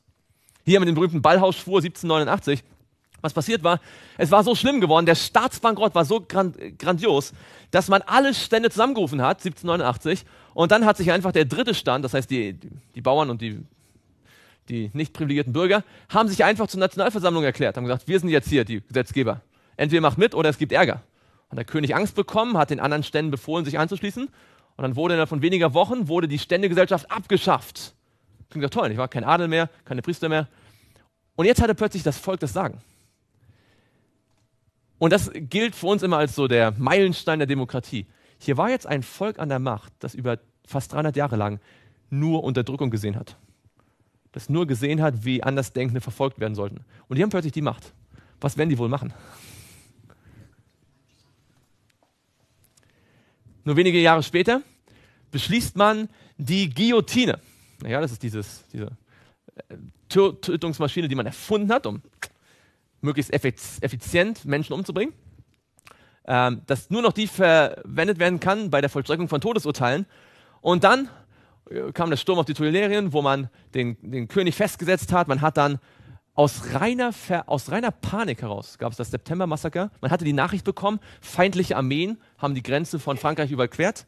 Man hat solche Angst bekommen, dass man einfach diese Wut hat sich entladen, indem man einfach in die Gefängnisse gerannt ist und um sich geschlagen hat und Leute ermordet hat, egal ob sie Revolutionsgegner waren oder nicht. Einfach alle umgebracht. Dann am 21.01.1793 wurde der König hingerichtet und dann hat man am 10.03. ein Revolutionstribunal eingestellt oder ein, berufen, das war unanfechtbar. Mit anderen Worten, was dieses Gericht gesagt hat, konnte nicht zurückgenommen werden. Jetzt, wie nennt man sowas? Und das ist Unfehlbarkeit, nicht wahr? Das ist eigentlich nichts anderes als, ja, man hat Unfehlbarkeit, danke für den Hinweis, man hat Unfehlbarkeit gelernt, man hat Unfehlbarkeit ausgeübt. Das ist eine Diktatur, nicht wahr? Wir nennen das heute Demokratie im Rückblick, aber eigentlich war es eine Diktatur. Hier ein Bild vom September-Massaker. Wie gesagt, die, es war einfach eine Panik, die ausgebrochen ist. Und aus lauter Angst vor irgendjemandem hat man einfach unschuldige Leute umgebracht. Ähm, dramatische Szenen, die sie abgespielt haben. Hier die Hinrichtung von Ludwig dem 16., das war der Nachfolger von Ludwig dem 15., der gesagt hat, nach mir die Sinnflut. Hier war die Sinnflut da. Und da haben wir noch ein Bild und hier hatte man schon seinen Vorgänger vom Sockel gestoßen. Den konnte man nicht mehr guillotinieren, der war schon als Skulptur da aber man hat den König das sehen lassen. Schau her, nicht wahr? Wir haben keinen Respekt mehr vor euch und jetzt hauen wir den Kopf ab. Man hatte über Jahrhunderte die Märtyrer gesehen. Und jetzt war man selbst dran. Man hatte die zehn Gebote abgeschafft, stattdessen etwas anderes erfunden. Weiß jemand, was das ist? Die Erklärung der Menschenrechte. Das ist noch ganz toll, oder? Wenn man das hier anschaut, wie sieht das aus? Zehn Gebote, nicht wahr? Jetzt, wenn das aussieht wie zehn Gebote, was soll das wohl ersetzen? die zehn Gebote. Was wir jetzt in den nächsten Folien sehen werden, ist das sichere Resultat, was passiert, wenn man Gottes Gesetz gegen menschliche Gesetze eintauscht. Wo hatten die das her? Sie hatten über hunderte Jahre gesehen, wie eine Kirche menschliche Tradition über Gottes Wort stellt. Jetzt haben sie nur noch einen Schritt weiter überlegt und gesagt, wir tun die Kirche ganz aus dem Fenster werfen. Naja, wie auch immer gibt viele Leute, die sich viel Gedanken machen, wer am Ende dahinter gesteckt hat. Soll ich Ihnen sagen, wer dahinter gesteckt hat? Wer der eigentliche Gründer hinter der Französischen Revolution war? Wollen Sie es wissen, welcher Orden? Es gibt Leute, die sagen, es waren die Jesuiten, es gibt Leute, die sagen, es waren die Illuminaten, es gibt Leute, es waren die Freimaurer, es waren die und jene. Soll ich Ihnen sagen? Es war Satan.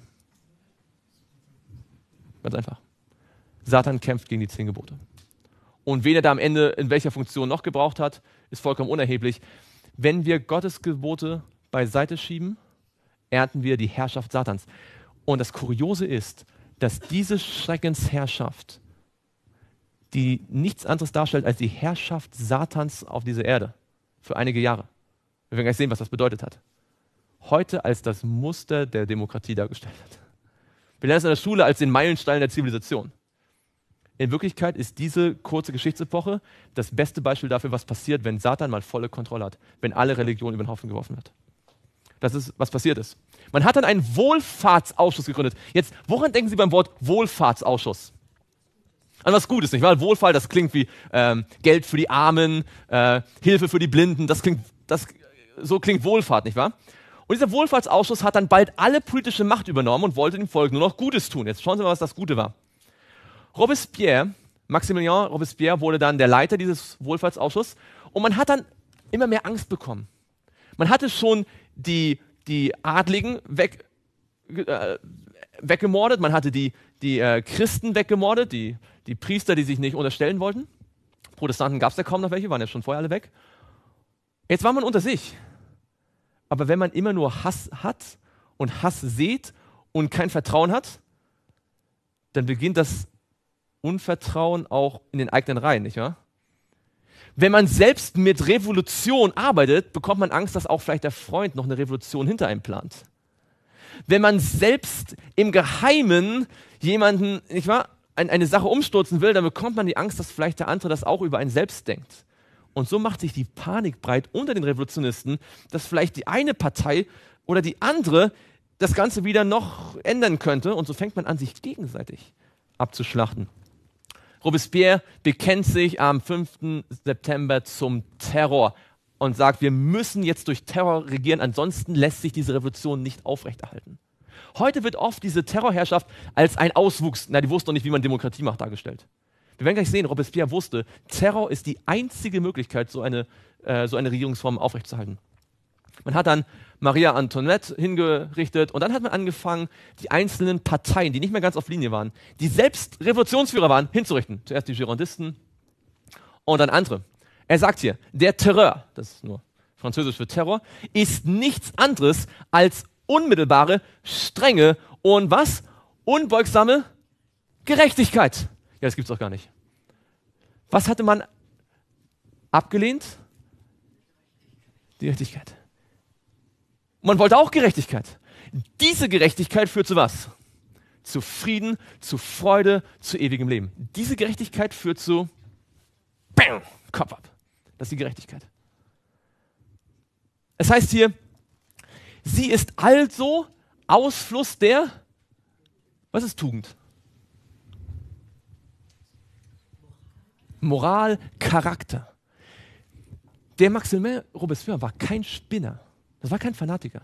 Man sagt, er war der unbestechlichste Revolutionsführer der ganzen Zeit. Das Volk hat ihn geliebt, bis er da zu dieser Position kam, weil er immer unbestechlich war. Er war ein brillanter Denker. Und er wusste, wenn wir schon das Gesetz Gottes beiseite legen, dann ist das das Einzige, was daraus folgt. Wir müssen jeden Einzelnen, der nicht auf unserer Seite exekutieren. Das ist die logische Folge. Hier zeigt sich das wahre Wesen der Revolution. Sie ist weniger ein besonderes Prinzip als die Konsequenz des allgemeinen Prinzips der Demokratie in seiner Anwendung auf die dringendsten Bedürfnisse des Vaterlandes. Also, der sagt allen Ernstes, das dringendste Bedürfnis des Vaterlandes ist, Kopf ab mit jedem, der nicht auf Linie ist. Jetzt möchte ich eine Sache ganz deutlich sagen, weil wir es später brauchen werden. Wenn man Gottes Gesetze wissentlich ablehnt, ist die einzige Konsequenz, dass man die tötet, die nicht auf Linie sind. Das, was er sagt. Jetzt werden Sie sagen, das ist ja Quark. Das ist ja, das ist ja unvorstellbar. Das kann ja heute nicht mehr passieren. Wissen Sie, dass alle Nationen, die bisher seitdem es gewagt haben, Gottes Gesetz bewusst beiseite zu, zu also ganz bewusst so, genau dasselbe erlebt haben? Stalin und Lenin, Hitler, ist überall dasselbe passiert. Und was würde wohl passieren, Übrigens, die Franzosen, das waren keine Barbaren, das waren keine Goten, die irgendwie durch die Wälder gezogen sind. Das waren, vielleicht haben Sie eine kleine Vorstellung von französischer Kultur. Vielleicht können Sie sich gedanklich hineinversetzen in die Welt des Barock, Versailles, nicht wahr? Die Tänzer und die, diese ganz feine äh, französische Kultur. Ja, das waren keine, keine Teutonen, die da durch den Wald geraten. Das waren diese ganz feinen, kultivierten, zivilisierten, hochphilosophischen Franzosen, die Voltaire gelesen haben die zu dem Schluss gekommen sind, wenn wir das ernst machen, dann können wir nicht anders, als einfach den Leuten wagenladungsweise den Kopf abzuschlagen. Das ist die Herrschaft Satans. Es sieht so toll aus. So künstlerisch, so wissenschaftlich, so philosophisch. Am Ende ist es genau das. Schauen wir mal, was passiert ist. Außerdem waren sie noch im Krieg. Sie haben versucht, die Revolution nach Europa zu bringen haben sich mit allen Nationen, die es in Europa gab, in Krieg verwickelt. Hier haben wir die Schlacht hier, die Kanonade von Valmy. Man hat dann alle, die nicht auf Linie waren, umgebracht. Manche hat man ertränkt. Und hier eine Karikatur aus England. Robespierre hat schon alle umgebracht. Jetzt gibt es keinen mehr, den er den noch guillotinieren kann. Bleibt nur noch der Henker selbst. Und das ist nur knapp übertrieben. Am 14.03. äh, werden dann die Hebertisten äh, hingerichtet, dann die Dantonisten, das all die verschiedenen Gruppierungen. Da kommt der berühmte Spruch her, die Revolution frisst ihre eigenen Kinder. Man könnte das auch umformulieren, die Sünde frisst ihre eigenen Kinder. Schon mal jemals gefragt, Was ist an dieser Sünde so schlimm? Wenn ich jetzt Gottes Gebot übertrete, ist doch nicht so schlimm. Also ob Gott es jetzt sagt oder nicht, ich kann doch auch mal, dann bin ich doch viel freier, oder? Sünde frisst ihre eigenen Kinder. Die Revolution frisst ihre eigenen Kinder. Dann wurde die Feier des höchsten Wesens. Ich frage mich mal, welches höchste Wesen ist eigentlich angebetet worden? Das hat man gesagt. Wenn ich das hier sehe, habe ich persönlich nur eine, eine Schlussfolgerung. Es war letztendlich Satan. Man hat zu Satan gebetet. In jener Zeit wurde dann ein neues Terrorgesetz errichtet. Jeder wurde hingerichtet, der auch nur verdächtig war. Es gab keine Urteile mehr, es wurde einfach nur folgendermaßen es beschrieben. Dann kamen jene Tage, als die grausamsten aller Gesetze von dem unmenschlichsten aller Gerichtshöfe gehandhabt wurden, als niemand seinen Nachbar grüßen oder sein Gebet verrichten konnte, ohne Gefahr zu laufen, ein Kapitalverbrechen zu begehen, als in jedem Winkel Spione lauerten, als allmorgendlich die Guillotine lange und schwer arbeitete die Gefängnisse so gedrängt voll waren wie die Räume eines Sklavenschiffes, in den Straßenrinnen das Blut schäumend der Seine zueilte, während täglich Wagenladungen mit Opfern durch die Straßen von Paris ihrem Schicksal entgegengefahren wurden schwelgten die Kommissare, die der Konvent in den Provinzen gesandt hatte, in übermäßiger Grausamkeit, wie man sie selbst in der Hauptstadt nicht kannte. Das Messer der Todesmaschine stieg und fiel zu langsam für das Werk der Metzelei. Lange Reihen von Gefangenen mähte man mit Kartätschen nieder, besetzte Boote wurden angebohrt, Lyon wurde zur Wüste, in Arab blieb den Gefangenen selbst die grausame Barmherzigkeit eines schnellen Todes versagt. Die ganze Loire hinab von Samur bis zum Meer fraßen Scharen von Krähen und Weihen an den nackten Leichnamen, die in abscheulichen Umarmungen miteinander verschlungen waren. Weder dem Geschlecht noch den Altern erwies man Barmherzigkeit. Die Anzahl der Jünglinge und Mädchen von 17 Jahren, die von dieser fluchwürdigen Regierung ermordet wurde, ließ sich nach Hunderten berechnen. Der Brust entrissene Säuglinge wurden von Spieß zu Spieß die Reihen der Jakobiner entlang geworfen. Gott, wo bist du? Zeige deinen Zorn. Gott musste seinen Zorn nicht zeigen. Er musste nicht donnern. Die Revolution hat ihre eigenen Kinder gefressen. Gott musste nicht am Himmel schreiben, hier bin ich, was habt ihr getan? Er hatte einfach nur laufen lassen, was Frankreich sich wünschte. Und in wenigen Monaten war das Land am Ruin. Am Ende wurde Robespierre selbst hingerichtet. Und das war eigentlich letztendlich auch die einzige Konsequenz, die das Ganze haben konnte. Und ein Schrei ging aus Frankreich empor zum Himmel. Das sind die zehn Gebote. Weiß jemand, wie die zehn Gebote in der Bibel heißen? Sie werden genannt das Gesetz der Freiheit. Und als man die zehn Gebote beiseite genommen hat und gerufen hat, Freiheit, Gleichheit, Brüderlichkeit, dann war das die Brüderlichkeit und die Gleichheit, die wir gerade gesehen haben. Sie wurden alle nacheinander umgebracht. Das war die Gleichheit. Lieber Freund, liebe Freundin, vielleicht sagst du, ach, die Bibel. Muss man wirklich die zehn Gebote halten? Ist das so notwendig? Muss man der Bibel folgen?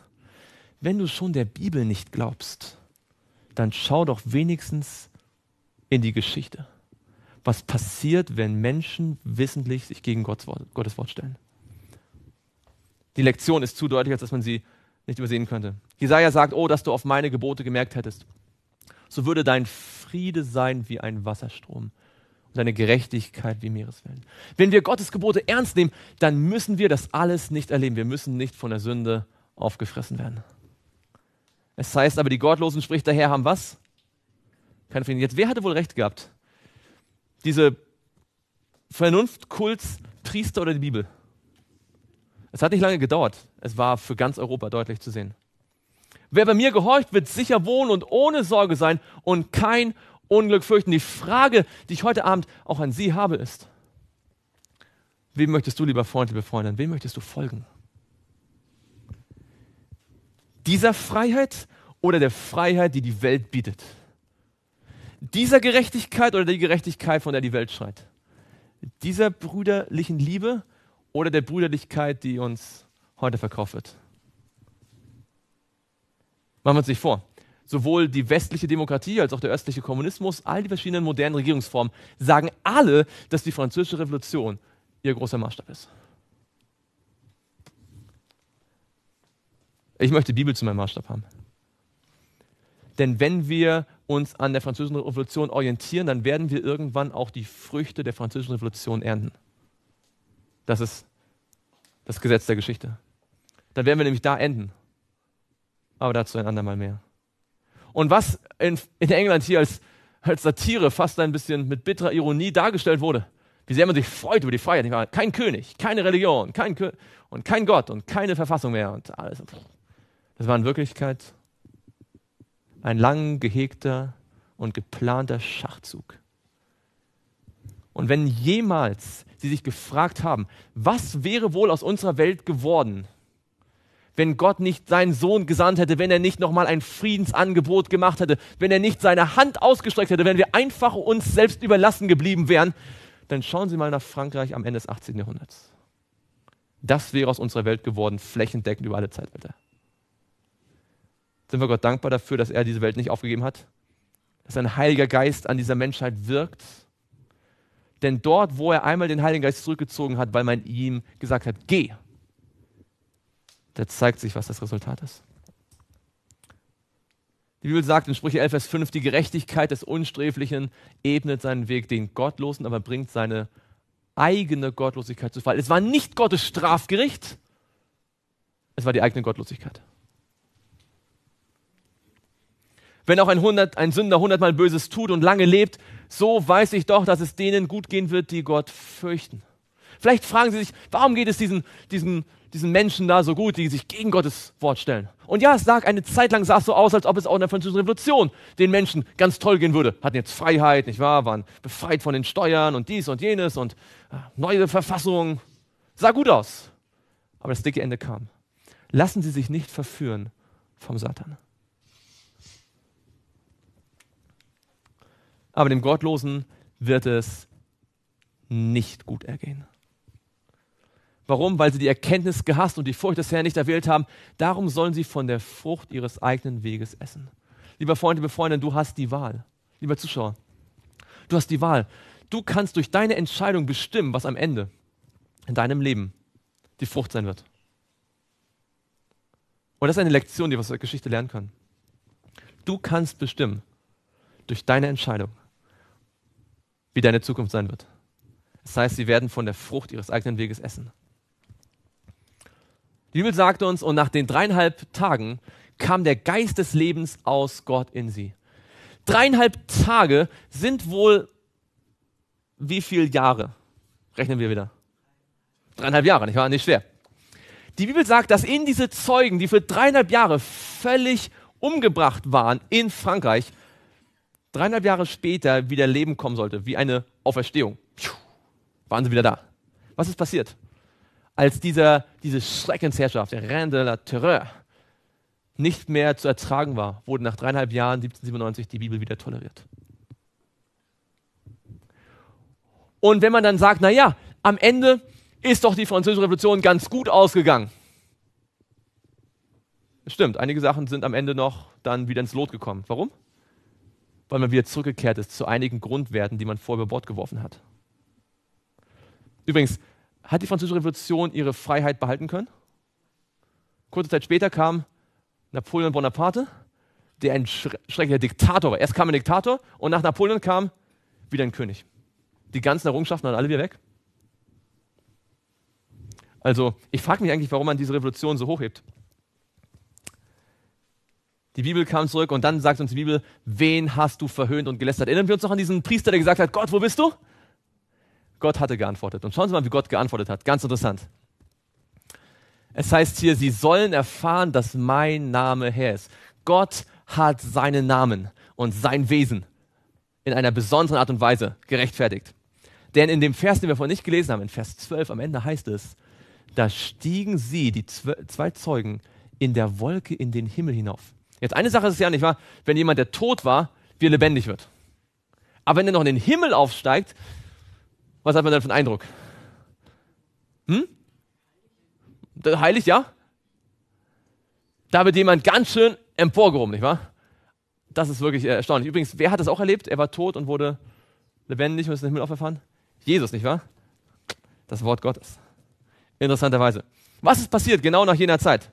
Plötzlich brachen Bibelgesellschaften aus dem Boden hervor, wie nie zuvor es das jemals gegeben hat. 1804 die britische und dann die schottische und die württembergische. 1812 hier. In welcher Stadt? Stuttgart, Stuttgart ganz genau. Ähm, die isländische, die amerikanische, nur einige Beispiele. Man hatte bis 1804, das heißt in fast 1800 Jahrhunderten, die Bibel bisher nur in 71 Sprachen gehabt. Und davon sind einige Latein und Angelsächsisch und Gotisch, etwas, was man gar nicht mehr lesen konnte. Innerhalb von wenigen Jahren hat sich das dann mehr als verdoppelt. Und Sie sehen, wie sehr es sich verbreitet hat. Man, mit anderen Worten, man hat in diesen 25 Jahren mehr Besetzung bewerkstelligt als vorher in 18 Jahrhunderten. Es ging piu, exponentiell, ist die Bibel plötzlich verbreitet worden. Aber nicht nur das. Auch das Thema Weltmission kam plötzlich zu einem ganz neuen, ähm, ganz neuen ähm, ähm, Dimension. Um 1000 war Weltmission völlig vergessen. Die frühen Christen waren ja noch nach Indien gegangen und nach Äthiopien gegangen und nach Europa gegangen. Aber im Mittelalter hat es kein Interesse an Missionen mehr gegeben. Dann gab es die Kreuzzüge, aber die sind nicht wirklich Missionen gewesen. Das war mehr ähm, Mission mit dem Schwert. Und dann zur Zeit der Reformation hatte Europa mit sich selbst zu tun. Die einzigen, die Missionen gemacht haben, waren die Jesuiten. Die sind nach China gegangen und dann nach Südamerika und haben dort einiges getan. Im 18. Jahrhundert gab es die Brüdergemeinden, die nach Amerika gegangen sind. Wir haben das ja bei Wesley angesehen. Aber es gab kaum, über fast zwei Jahrtausende, kaum wirkliche Weltmissionsbemühungen. Und kaum war die Revolution zu Ende, sind nicht nur die Bibelgesellschaften aufgesprungen. Die Bibelgesellschaften, hier, 1792, Baptist Missionary Society. William Carey war der erste moderne Missionar, der nach Indien ging. Er hat diesen berühmten Satz geprägt, nimm dir Großes vor von Gott und erwarte Großes von Gott. Nicht wahr? Und 1795 und 96, 97, 99, Sie sehen die, die Rheinische Missionsgesellschaft hier in Deutschland, die erste. Dann 1809, 10, 13, 14, 15, 19, 23 hier, die American Board of Foreign Missions, die größte amerikanische, die 1812 Adoniram Judson nach Birma gebracht hat und ähm, die ganz schnell die Welt erreicht haben mit dem Evangelium. Und dann kam der technische Fortschritt, das Dampfschiff und die Eisenbahn und die dafür gesorgt haben, es gab verbesserte Druckmöglichkeiten und plötzlich ging das Wort Gottes durch die ganze Welt. Wenige Jahre zuvor schien es so zu sein durch die Französische Revolution, als würde der Satan alles kaputt machen. Und Gott lässt es für einige Monate, einige Jahre zu. Die Welt sieht, wie katastrophal das war. Und plötzlich gibt es einen Drang, das Evangelium in die Welt zu bringen, wie niemals zuvor. Der Satan hatte sich mal wieder ins eigene Bein geschossen. Voltaire hatte gesagt, ich habe es satt, die Leute immer wieder sagen zu hören, dass zwölf Männer die christliche Religion gegründet haben. Ich will beweisen, dass ein Mann genügt, sie umzustoßen. Vielleicht kennen Sie die Geschichte. Voltaire ist gestorben und in seinem Haus hat sich später eine Bibelgesellschaft befunden.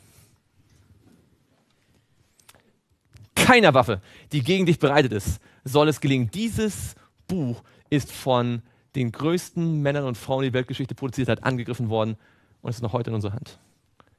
Voltaire ist tot, Robespierre ist tot und all die anderen sind alle Geschichte.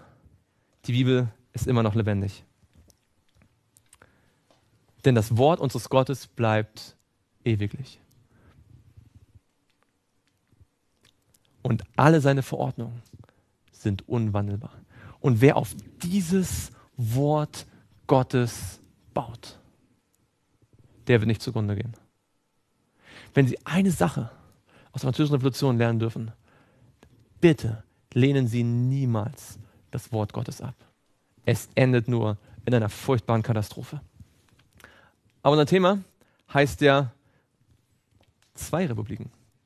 Im Geschichtsunterricht gibt es immer nur die eine Republik, nicht wahr? Die Französische Republik.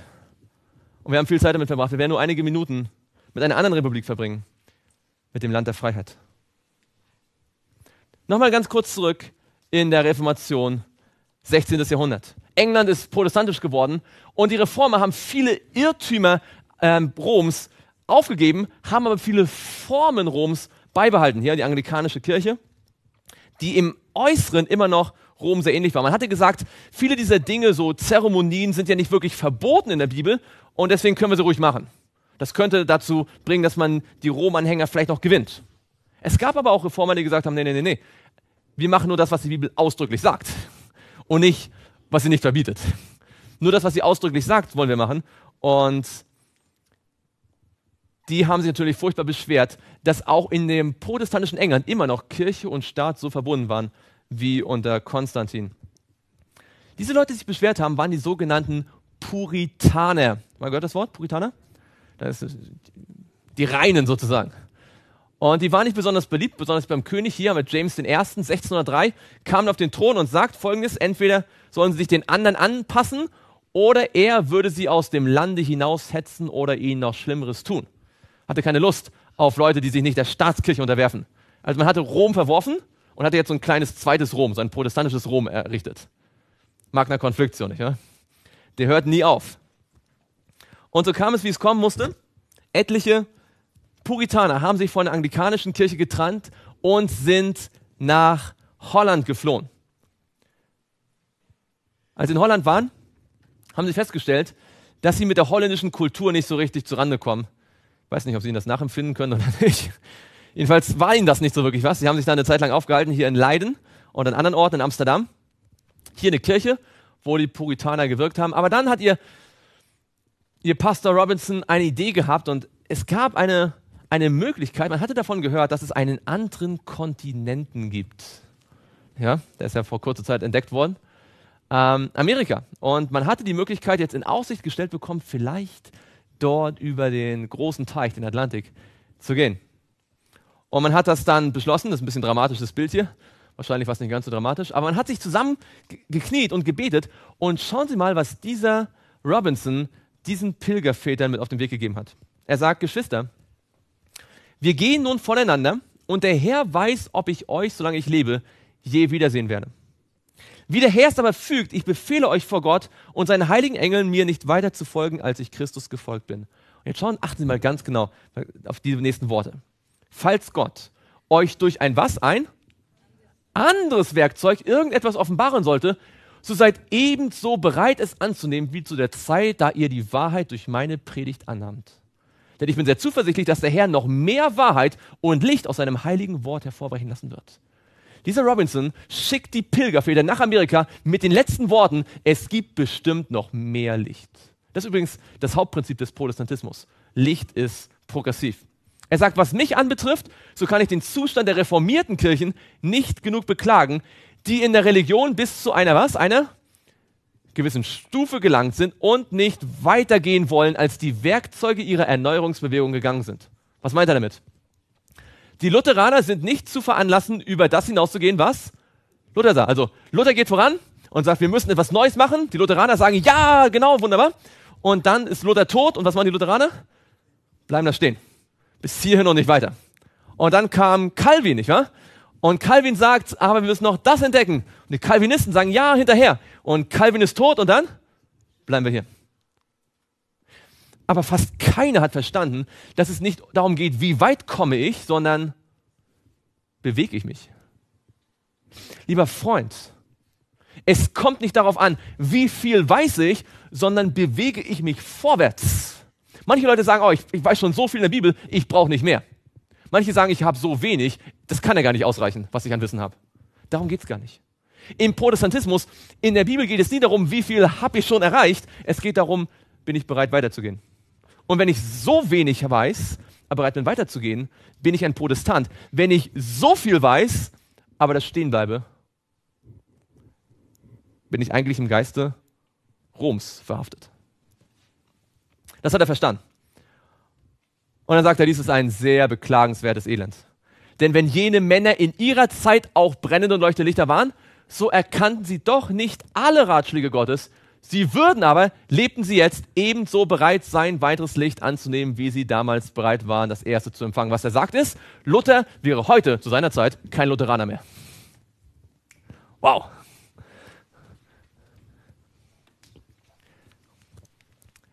Und dann sagt er, denkt an euer Gemeindegelöbnis, indem ihr euch verpflichtet habt, in allen Wegen des Herrn zu wandeln, wie sie euch bekannt geworden sind oder noch bekannt werden. Ich weiß nicht, lieber Freund, liebe Freundin, wie es dir geht.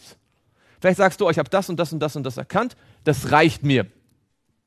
Bist du bereit, wenn du etwas Neues entdeckst, auch das Neue umzusetzen, auch wenn dein Priester, Prediger, Pastor, Guru das nicht erkennt?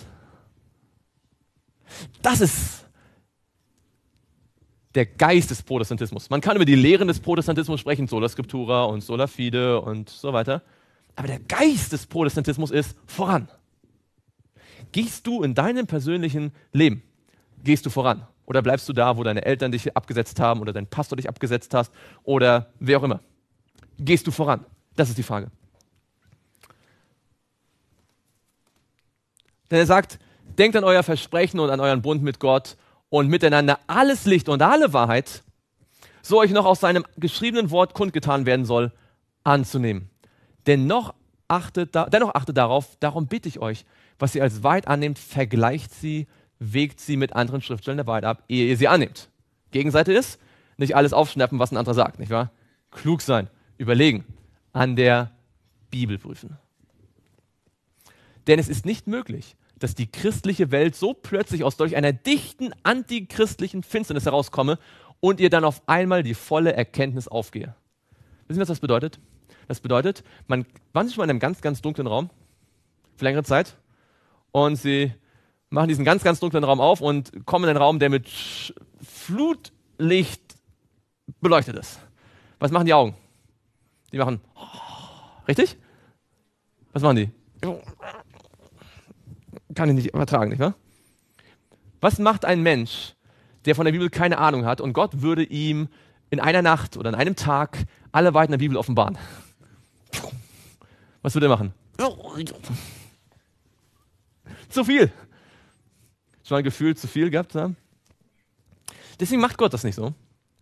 Gott gibt uns immer nur eins nach dem anderen. Und manchmal haben wir eine Sache verstanden und endlich umgesetzt und wir denken, jetzt haben wir es, nicht wahr? Ach, jetzt sind wir soweit. Und dann gibt Gott das nächste.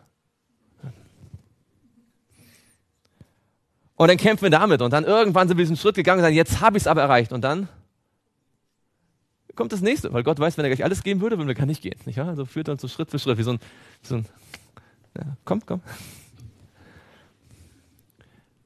Weil Gott weiß ja, wie wir sind. Na, jedenfalls sind sie, haben sie das beschlossen und sie sind dort auf das Schiff gegangen. Weiß jemand, wie das Schiff hieß? Das war die Mayflower. Die Maiblume. Ich weiß nicht, ob sie im Mai losgefahren sind. Sie sind nicht im Mai angekommen, das kann ich sagen. Ähm, es hat lange gedauert und die Schiffe damals waren nicht so komfortabel wie die AIDA heute. Ähm, man sagt, dass als sie dann das, den Boot, das Land erreicht haben, mussten einige dann wirklich mal sich um ihre Hygiene kümmern. Ähm, war wirklich unter Entbehrung, dass sie dort angekommen sind. Im November sind sie dann in der Massachusetts Bay angekommen und haben Plymouth gegründet. Hier ein Bild. Das war da schon Winter, sieht man ein paar Indianer, die etwas verdutzt schauen.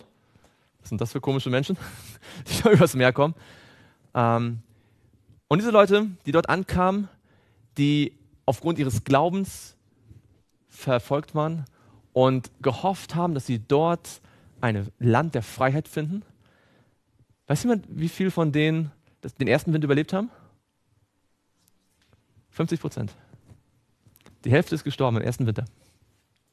Es war unter unvorstellbaren Opfern, dass sie diesen ersten permanenten Siedlungspunkt in Nordamerika errichtet haben. Es gab schon einige Siedlungen zuvor, Jamestown zum Beispiel, die sind ja aufgegeben worden. Es waren die ersten, die überlebt haben und auch nur durch eine göttliche Fügung.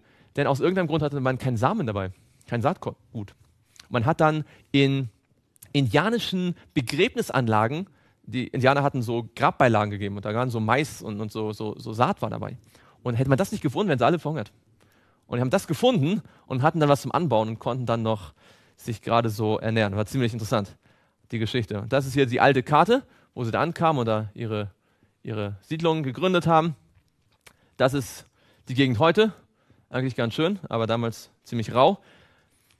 Aber was interessant ist, dass selbst diese Puritaner noch nicht wirklich Freiheit begriffen hatten. Sie waren zwar schon in der Freiheit, aber es heißt hier, sehr wenige, selbst der hervorragendsten Denker und Sittenlehrer des 17. Jahrhunderts hatten einen richtigen Begriff von jenem herrlichen, dem Neuen Testament entstammenden Grundsatz, der Gott als den einzigen Richter des menschlichen Glaubens anerkennt. Es kann also sein, dass ich von Gott geführt werde, dass ich in die Freiheit entlassen werde, aber selbst noch nicht wirklich die Freiheit verstanden habe. Es kann sein, dass Gott mir die Wahrheit offenbart und ich nehme sie an, aber die Wahrheit ist noch nicht wirklich Teil von mir. Vielleicht kennen Sie die Geschichte von diesem berühmten Gleichnis, wo Jesus einem Menschen vergibt, der dann nicht bereit ist, dem anderen zu vergeben. Etwas, was wir ganz oft erleben. Dass wir vielleicht bereit sind oder etwas erleben. Gott zeigt uns etwas und sagt, wir sind begeistert, aber es dringt noch nicht wirklich hinein. Sie waren äußerlich frei, aber innerlich haben sie es selbst noch nicht so richtig begriffen. Deswegen hat einer der Puritaner dann gesagt, als sie dort waren und dort auch gleich wieder so eine Art Staatskirche errichtet haben, jetzt keine anglikanische Staatskirche, keine römische Staatskirche, sondern eine puritanische Staatskirche. So ganz einfach, oder? Ja? Die Römer, die, die römische Kirche verfolgt die Anglikaner, bis die sich befreit haben, dann gründen die eine anglikanische Staatskirche und dann verfolgen die die Puritaner und als die sich befreit haben, gründen die eine puritanische Staatskirche und so geht das immer weiter. Und einer von ihnen sagte, Duldung macht die Welt antichristlich. Wenn ich ja dem anderen erlaube zu glauben, was er möchte, dann werden der, das endet ja im Chaos. Und die Kirche hat sich durch die Bestrafung der Ketzer nie geschadet. Das sagt einer, der gerade entflohen ist aus Europa vor der Verfolgung. Können Sie das erklären? Wissen Sie, der Magna Conflictio, der geht ganz tief hinein in uns. Wir wissen genau, was unsere Rechte sind, wenn es um mich geht. Nicht wahr? Aber wenn es um den anderen geht, der anders denkt als ich. Also ich brauche mein Recht und ich muss dafür, ja, aber der, nee, der, dem, Religionsfreiheit für den? Schau doch mal, was der, das ist ja ganz gegen die Bibel, was er sagt. Und das muss erstmal so richtig tief hinein. Und ich glaube, erst wenn man das wirklich verstanden hat, ist man ein echter Protestant. Jeder kann sagen, Sola Scriptura, oh, der Papst ist Antichrist. Das ist nicht so schwer. Es war jener Mann. Sein Name war, Achtung, Roger Williams. Roger Williams kam elf Jahre nach Gründung der Kolonie und hat diese Idee als erster dort in Amerika verkündet. Er war wahrscheinlich der erste in der modernen Zeit überhaupt auf der ganzen Welt. Das Volk oder die Behörden, sagte er, mögen entscheiden, was der Mensch dem Menschen schuldig ist. Versuchen sie aber einem Menschen seine Pflicht gegen Gott vorzuschreiben, so tun sie, was nicht ihres Amtes ist. Und man kann sich auf sie nicht mit Sicherheit verlassen. Denn es ist klar, dass der Magistrat, also der Beamte, wenn er die Macht hat, heute diese und morgen jene Meinung oder Bekenntnisse vorschreiben mag, wie es in England von den verschiedenen Königen und Königinnen und in der römischen Kirche von etlichen Päpsten und Konzilien getan wurde, so dass der Glaube zu einem einzigen Chaos würde. Also wodurch entsteht das Chaos? Nicht durch die Freiheit, sondern durch die Vorschrift, durch die Diktatur. Das heißt, Williams verwarf dieses Gesetz, denn die schlimmste Satzung im englischen Gesetzbuch war, den Besuch der Kirche zu verlangen. Die Puritaner hatten gesagt, wenn ihr hier nach Amerika kommt, jeder, der hierher kommt, muss in die Kirche gehen. Man konnte auch kein Bürgermeister werden, wenn man nicht in die Kirche geht. Und man konnte auch kein Richter werden, wenn man nicht in die Kirche geht. Klingt doch gut, oder? Da hat man auch garantiert, dass die Bürgermeister christlich sind. Hat man garantiert, dass die Richter christlich sind, oder? Ja, nicht so ganz. Leute zu zwingen, sich mit Andersgläubigen zusammenzutun, betrachtet er als eine offene Verletzung ihrer natürlichen Rechte. Unreligiöse und Unwillige zum öffentlichen Gottesdienst zu schleppen, hieße Heuchelei verlangen. Niemand sollte zur Anbetung oder Unterstützung eines Gottesdienstes gezwungen werden, fügte er hinzu. Was? riefen seine Gegner aus, die über seine Grundsätze erstaunt waren. Ist nicht der Arbeiter seines Lohnes wert? Wenn die nicht alle kommen, wer soll denn die, die Priester bezahlen? Und dann sagte er, ja, erwiderte er, von denen, die ihn einstellen. Was ist passiert? Raten Sie mal.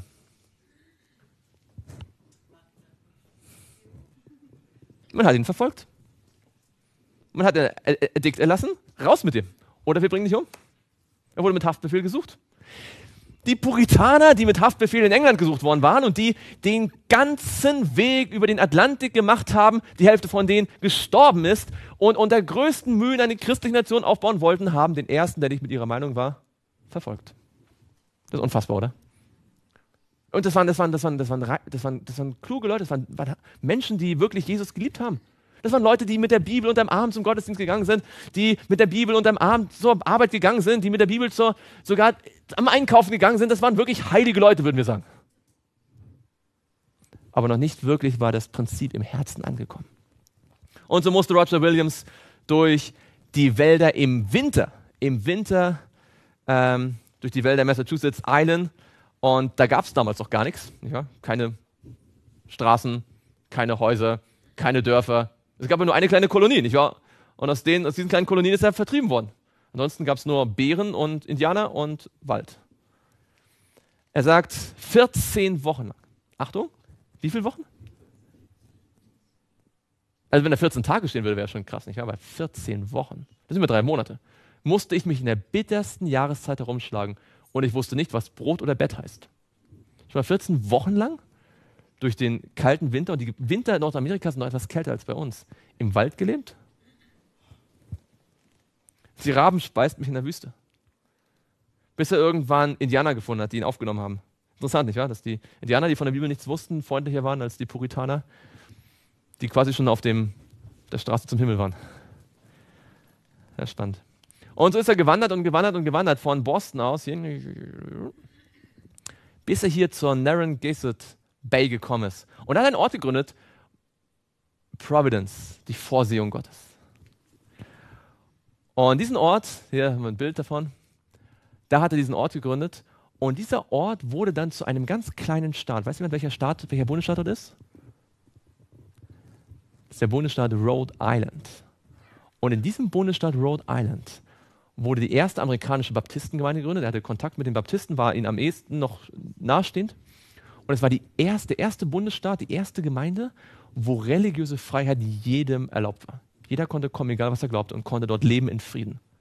Es ist wahrscheinlich der erste Platz in der modernen Geschichte, wo ein Mensch wirklich glauben konnte, was er wollte. Selbst zu Martin Luthers Zeiten, wenn ich Katholik war, in Wittenberg musste ich auswandern. Ich war nach Bayern.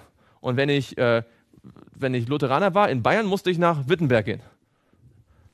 Aber hier konnte zum ersten Mal jemand leben, wo er, da wo er war und glauben, was er wollte. Er konnte Atheist sein, er konnte Christ sein, er konnte Baptist sein, Methodist, was auch immer. Er konnte, ne, Methodisten gab es noch nicht, Verzeihung, aber er konnte sein, was er wollte. Das war Freiheit. Was ist wohl aus dieser kleinen Republik geworden? Wie viel Guillotine hat es hier gegeben? Keine. Aus diesem kleinen, kleinen Örtchen, diesem kleinen Bundesstaat Rhode Island, haben die Prinzipien entwickelt, die schnell auf alle Bundesstaaten übergingen. Und aus den 13 Kolonien erwuchs bald eine Republik. Diese Republik hat auch Freiheit und Gleichheit und Brüderlichkeit in ihrem Prinzip. Aber wissen Sie, dass es einen Unterschied gibt zwischen der Verfassung der Französischen Republik und der Amerikanischen Republik? Die Amerikanische Republik hat die Bibel nicht abgelehnt. Sie lässt den Menschen frei, an die Bibel zu glauben, aber die Bibel ist trotzdem Grundlage. Das heißt, wir halten diese Wahrheiten als selbstverständlich. Dass alle Menschen gleich geschaffen sind, dass ihnen der Schöpfer gewisse unveräußerliche Rechte verliehen hat, dass zu diesem Leben Freiheit und die Erlangung des Glückes gehören. Diese Unabhängigkeitserklärung ist Gold wert. Es heißt in der amerikanischen Verfassung, keine Religionsprüfung soll je erforderlich sein zur Bekleidung irgendeines öffentlichen Amtes in den Vereinigten Staaten. Heute gibt es ja viele Menschen, die haben was gegen Amerika, nicht wahr? Es gibt so in Europa mal diesen latenten Anti-Amerikanismus. Weiß nicht, mögen Sie die Vereinigten Staaten von Amerika? Ich sage Ihnen was. Ich halte die Verfassung von Amerika für das großartigste Dokument, das jemals von, einem, von einer verfassungsgebenden Versammlung jemals erlassen worden ist. Für mich ist das die größte Grundlage einer Nation überhaupt. Damit habe ich nicht gesagt, dass alles gut ist, was heute Amerika macht. Dazu haben wir noch einen Vortrag. Dürfen Sie nicht verpassen. Aber das hier ist protestantisch und biblisch im tiefsten Sinne. Denn ist es nicht interessant, dass Gott in seinem System jedem die Freiheit gibt und dass die Franzosen in ihrem System Freiheit, Gleichheit, Brüderlichkeit sogar noch die umgebracht haben, die dasselbe geschrien haben, dasselbe geglaubt haben. In Gottes System habe ich Freiheit. Im System des Satans werde ich sogar noch umgebracht, wenn ich ihm zustimme. Sie haben die Wahl. Der Kongress soll kein Gesetz erlassen, das die Einführung einer Religion bezweckt oder deren freie Ausübung verbietet. Und diese Nation ist gewachsen. Das heißt, Massachusetts bot durch eine besondere Verordnung den Christen jeder Nation, die sich über den Atlantischen Ozean flüchteten, um Kriegen, Hungersnot oder der Unterdrückung ihrer Verfolger zu entgehen, freundliche, unentgeltliche Aufnahme und Hilfe an. Somit wurden die Flüchtlinge und die Unterdrückten durch gesetzliche Verordnung Gäste des Staates. Und so wuchs diese Nation. Und es war ein hartes Leben, aber es war ein fruchtbares Leben. Sie haben, naja, nicht schnell Reichtum erworben, aber Stück für Stück ist die Nation gewachsen. Und die Bibel war die Grundlage. In den Schulen ist die Bibel unterrichtet worden. Ähm, in Kirchen ist die Bibel natürlich gepredigt worden. Und diese Nation ist gewachsen und gewachsen. Und was ist aus dieser Nation geworden? Ist sie auch untergegangen, die Französische Revolution? Nein. Es stimmt, es gab ein paar Kriege. Aber im Wesentlichen ist diese Nation gewachsen im Frieden, bis sie zu einer Weltmacht wurde. Und wenn wir diese beiden Nationen, Frankreich und die USA, nebeneinander legen, die fast zur selben Zeit, weiß jemand, wann die USA ihre Verfassung unterschrieben haben? 1776, richtig? Das war ein paar Jahre vor, dem, vor den Franzosen. Die nebeneinander halten. Die hatten dieselben Ideen, da waren dieselben Philosophen zur gleichen Zeit. Das war dieselbe Kultur. Waren ja auch vieles Europäer, die übergewandert waren. Und nur diesen einen, übrigens, hatten beide Nationen einen König? Beide hatten keinen König. Beide hatten keinen Papst, kein Oberhaupt der Kirche. Aber die Amerikaner hatten die Bibel, die Franzosen nicht. Die Franzosen endeten in einem Blutbad, die Amerikaner in einer, in einer Weltnation.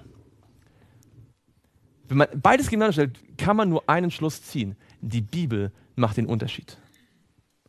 Lieber Freund, liebe Freundin, in unserem Leben ist es ganz genauso. Wir sind auch entweder Franzosen oder Amerikaner, sozusagen. Entweder wir entscheiden uns für die Bibel oder gegen die Bibel. Und die Resultate werden am Ende immer deutlicher sichtbar sein. Wir sind am Ende angekommen für heute Abend. Bevor wir schließen, möchte ich nur ganz kurz zusammenfassen, was mit der Reformation passiert ist, weltweit zu jedem Zeitpunkt. Mal abgesehen von den recht guten Entwicklungen in Amerika. Wie angesprochen, in England, in Deutschland, vielen anderen Orten war das, was Konstantin getan hatte, wieder Mode. Kirche und Staat waren zusammengegangen. Ich weiß, es gab die lutherische Staatskirche, es gab die anglikanische Staatskirche, es gab die kalvinistischen Staatskirchen. Überall ging das zusammen. Denn der Satan hat ja gelernt, schon aus dem frühen Mittelalter, nicht wahr? Wenn man nicht durch Draufschlagen es verhindern kann, dann gib ihm einen Kompromiss. Jesus hatte gesagt, mein Reich ist nicht von dieser Welt. Aber zu viele Menschen verknüpfen Religion mit Politik. Auch damals. Und genauso wie Jesus abgelehnt worden war. Und genauso wie Johannes, Verzeihung, Martin Luther abgelehnt worden war, genauso wurde dann auch am Ende des 18. Jahrhunderts und Anfang des 19. Jahrhunderts die Welt abgelehnt. Und die Bibel, die Grundlage der Reformation, wurde immer mehr in Vergessenheit geraten. Wissen Sie, man hat die Bibel nicht mehr verbieten können. Die Bibelgesellschaften gingen jetzt in die ganze Welt. Man hat die Bibel gedruckt in allen möglichen Sprachen. Und heute ist es ja noch so, nicht wahr? Aber haben Sie den Eindruck, dass heute die Menschen die Bibel besser kennen als im 16. Jahrhundert? Es kostet heute nur noch ein paar Euros, eine Bibel zu kaufen. Aus irgendeinem Grund kennen wir die Bibel immer noch nicht so gut. Jetzt, was ist das wohl? Magna Konfliktio, nicht wahr? Der Satan ist der nicht auf den Kopf gefallen. Er hat Jahrhunderte Erfolg gehabt, indem er die Bibel verbietet oder sie in einer fremden Sprache lässt. Und als das nicht mehr zu verhindern war, als einfach die Bibel, als Gott alle Tore geöffnet hat und die Bibel in die Welt hinausging, hat er es geschafft, den Menschen einzureden, die Bibel ist eigentlich gar nicht so wichtig. Kümmere dich um deinen Beruf, kümmere dich um deine die Ausbildung deiner Kinder, kümmere dich um deine Hobbys, kümmere dich um diese spannenden Romane oder die Filme oder das und jenes. Bibel. Hm. Und jetzt haben wir die kuriose Situation, dass das, wofür Tausende von Märtyrern gestorben sind, heute jedem zugänglich ist und jeder sagt, oh, pff, ja. Wie ist es in deinem Leben? Schätzt du die Bibel? Die Reformation war wieder fast dort angelangt, wo sie am Anfang stand. Und der Glaube, der einmal den Heiligen überliefert ist, der war wieder überdeckt mit vielen Menschenmeinungen, Kommentaren, nicht wahr? Die Lutheraner haben jetzt über Luther geschrieben und die Calvinisten über Calvin und man hat das kommentiert und Kommentar und dies und jenes. Anstatt weiterzugehen, ist man stehen geblieben. Es war Zeit für eine Reformation. Lass die Küstenfeuer brennen, denn sie zeigen manchem Pilger den Weg nach Haus. Wir haben heute über die Pilger gesprochen. die auch erst nochmal lernen mussten, was es wirklich heißt.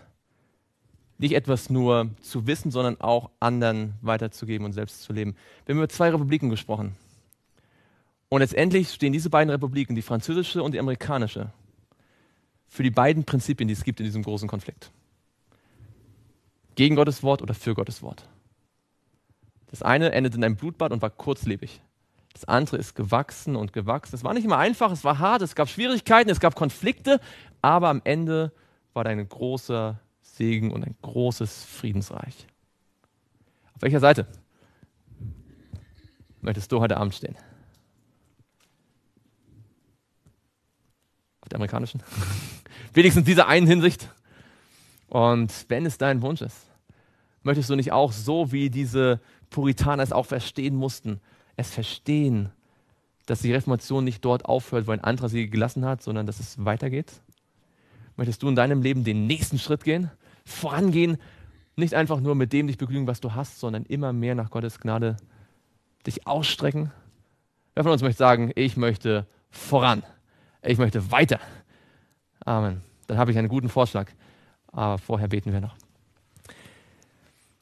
Lieber Vater im Himmel, wir möchten dir von Herzen Dank sagen für diesen Abend. Wir möchten dir Dank sagen, dass dein Wort und die Geschichte völlig übereinstimmen. Und dass wir das, was dein Wort uns sagt, wir auch in den Seiten der Geschichte so deutlich wiederfinden, dass man es gar nicht missverstehen kann. Heute wird vieles uminterpretiert und so glatt gebügelt, dass man die eigentliche Ursache und Wirkung gar nicht mehr sieht. Aber dein Wort deckt es alles wieder auf. Und so danken wir dir von ganzem Herzen, dass wir heute lernen durften, was den Unterschied macht zwischen Niedergang und Aufstieg, dass wenn wir deinem Wort folgen, wir echte, wahre Freiheit haben und nicht die Scheinfreiheit, die nur in einer Katastrophe endet. Bitte bewahre uns davor, dass wir dein Gebot leichtfertig beiseite schieben oder übertreten. Denn wir haben gesehen, wo es führt. Wir möchten dich bitten von ganzem Herzen, dass du uns die Kraft schenkst, neue Wahrheit zu erkennen und ihr dann auch folgen zu können, wenn es dein Wort wirklich ist. Und so bitten wir dich, dass du uns bald wieder gesund zusammenbringst hier am Freitag, dass wir mehr lernen dürfen aus deinem Wort und in der Reformation vorankommen können, so wie du es uns zeigst. Im Namen Jesu beten wir. Amen.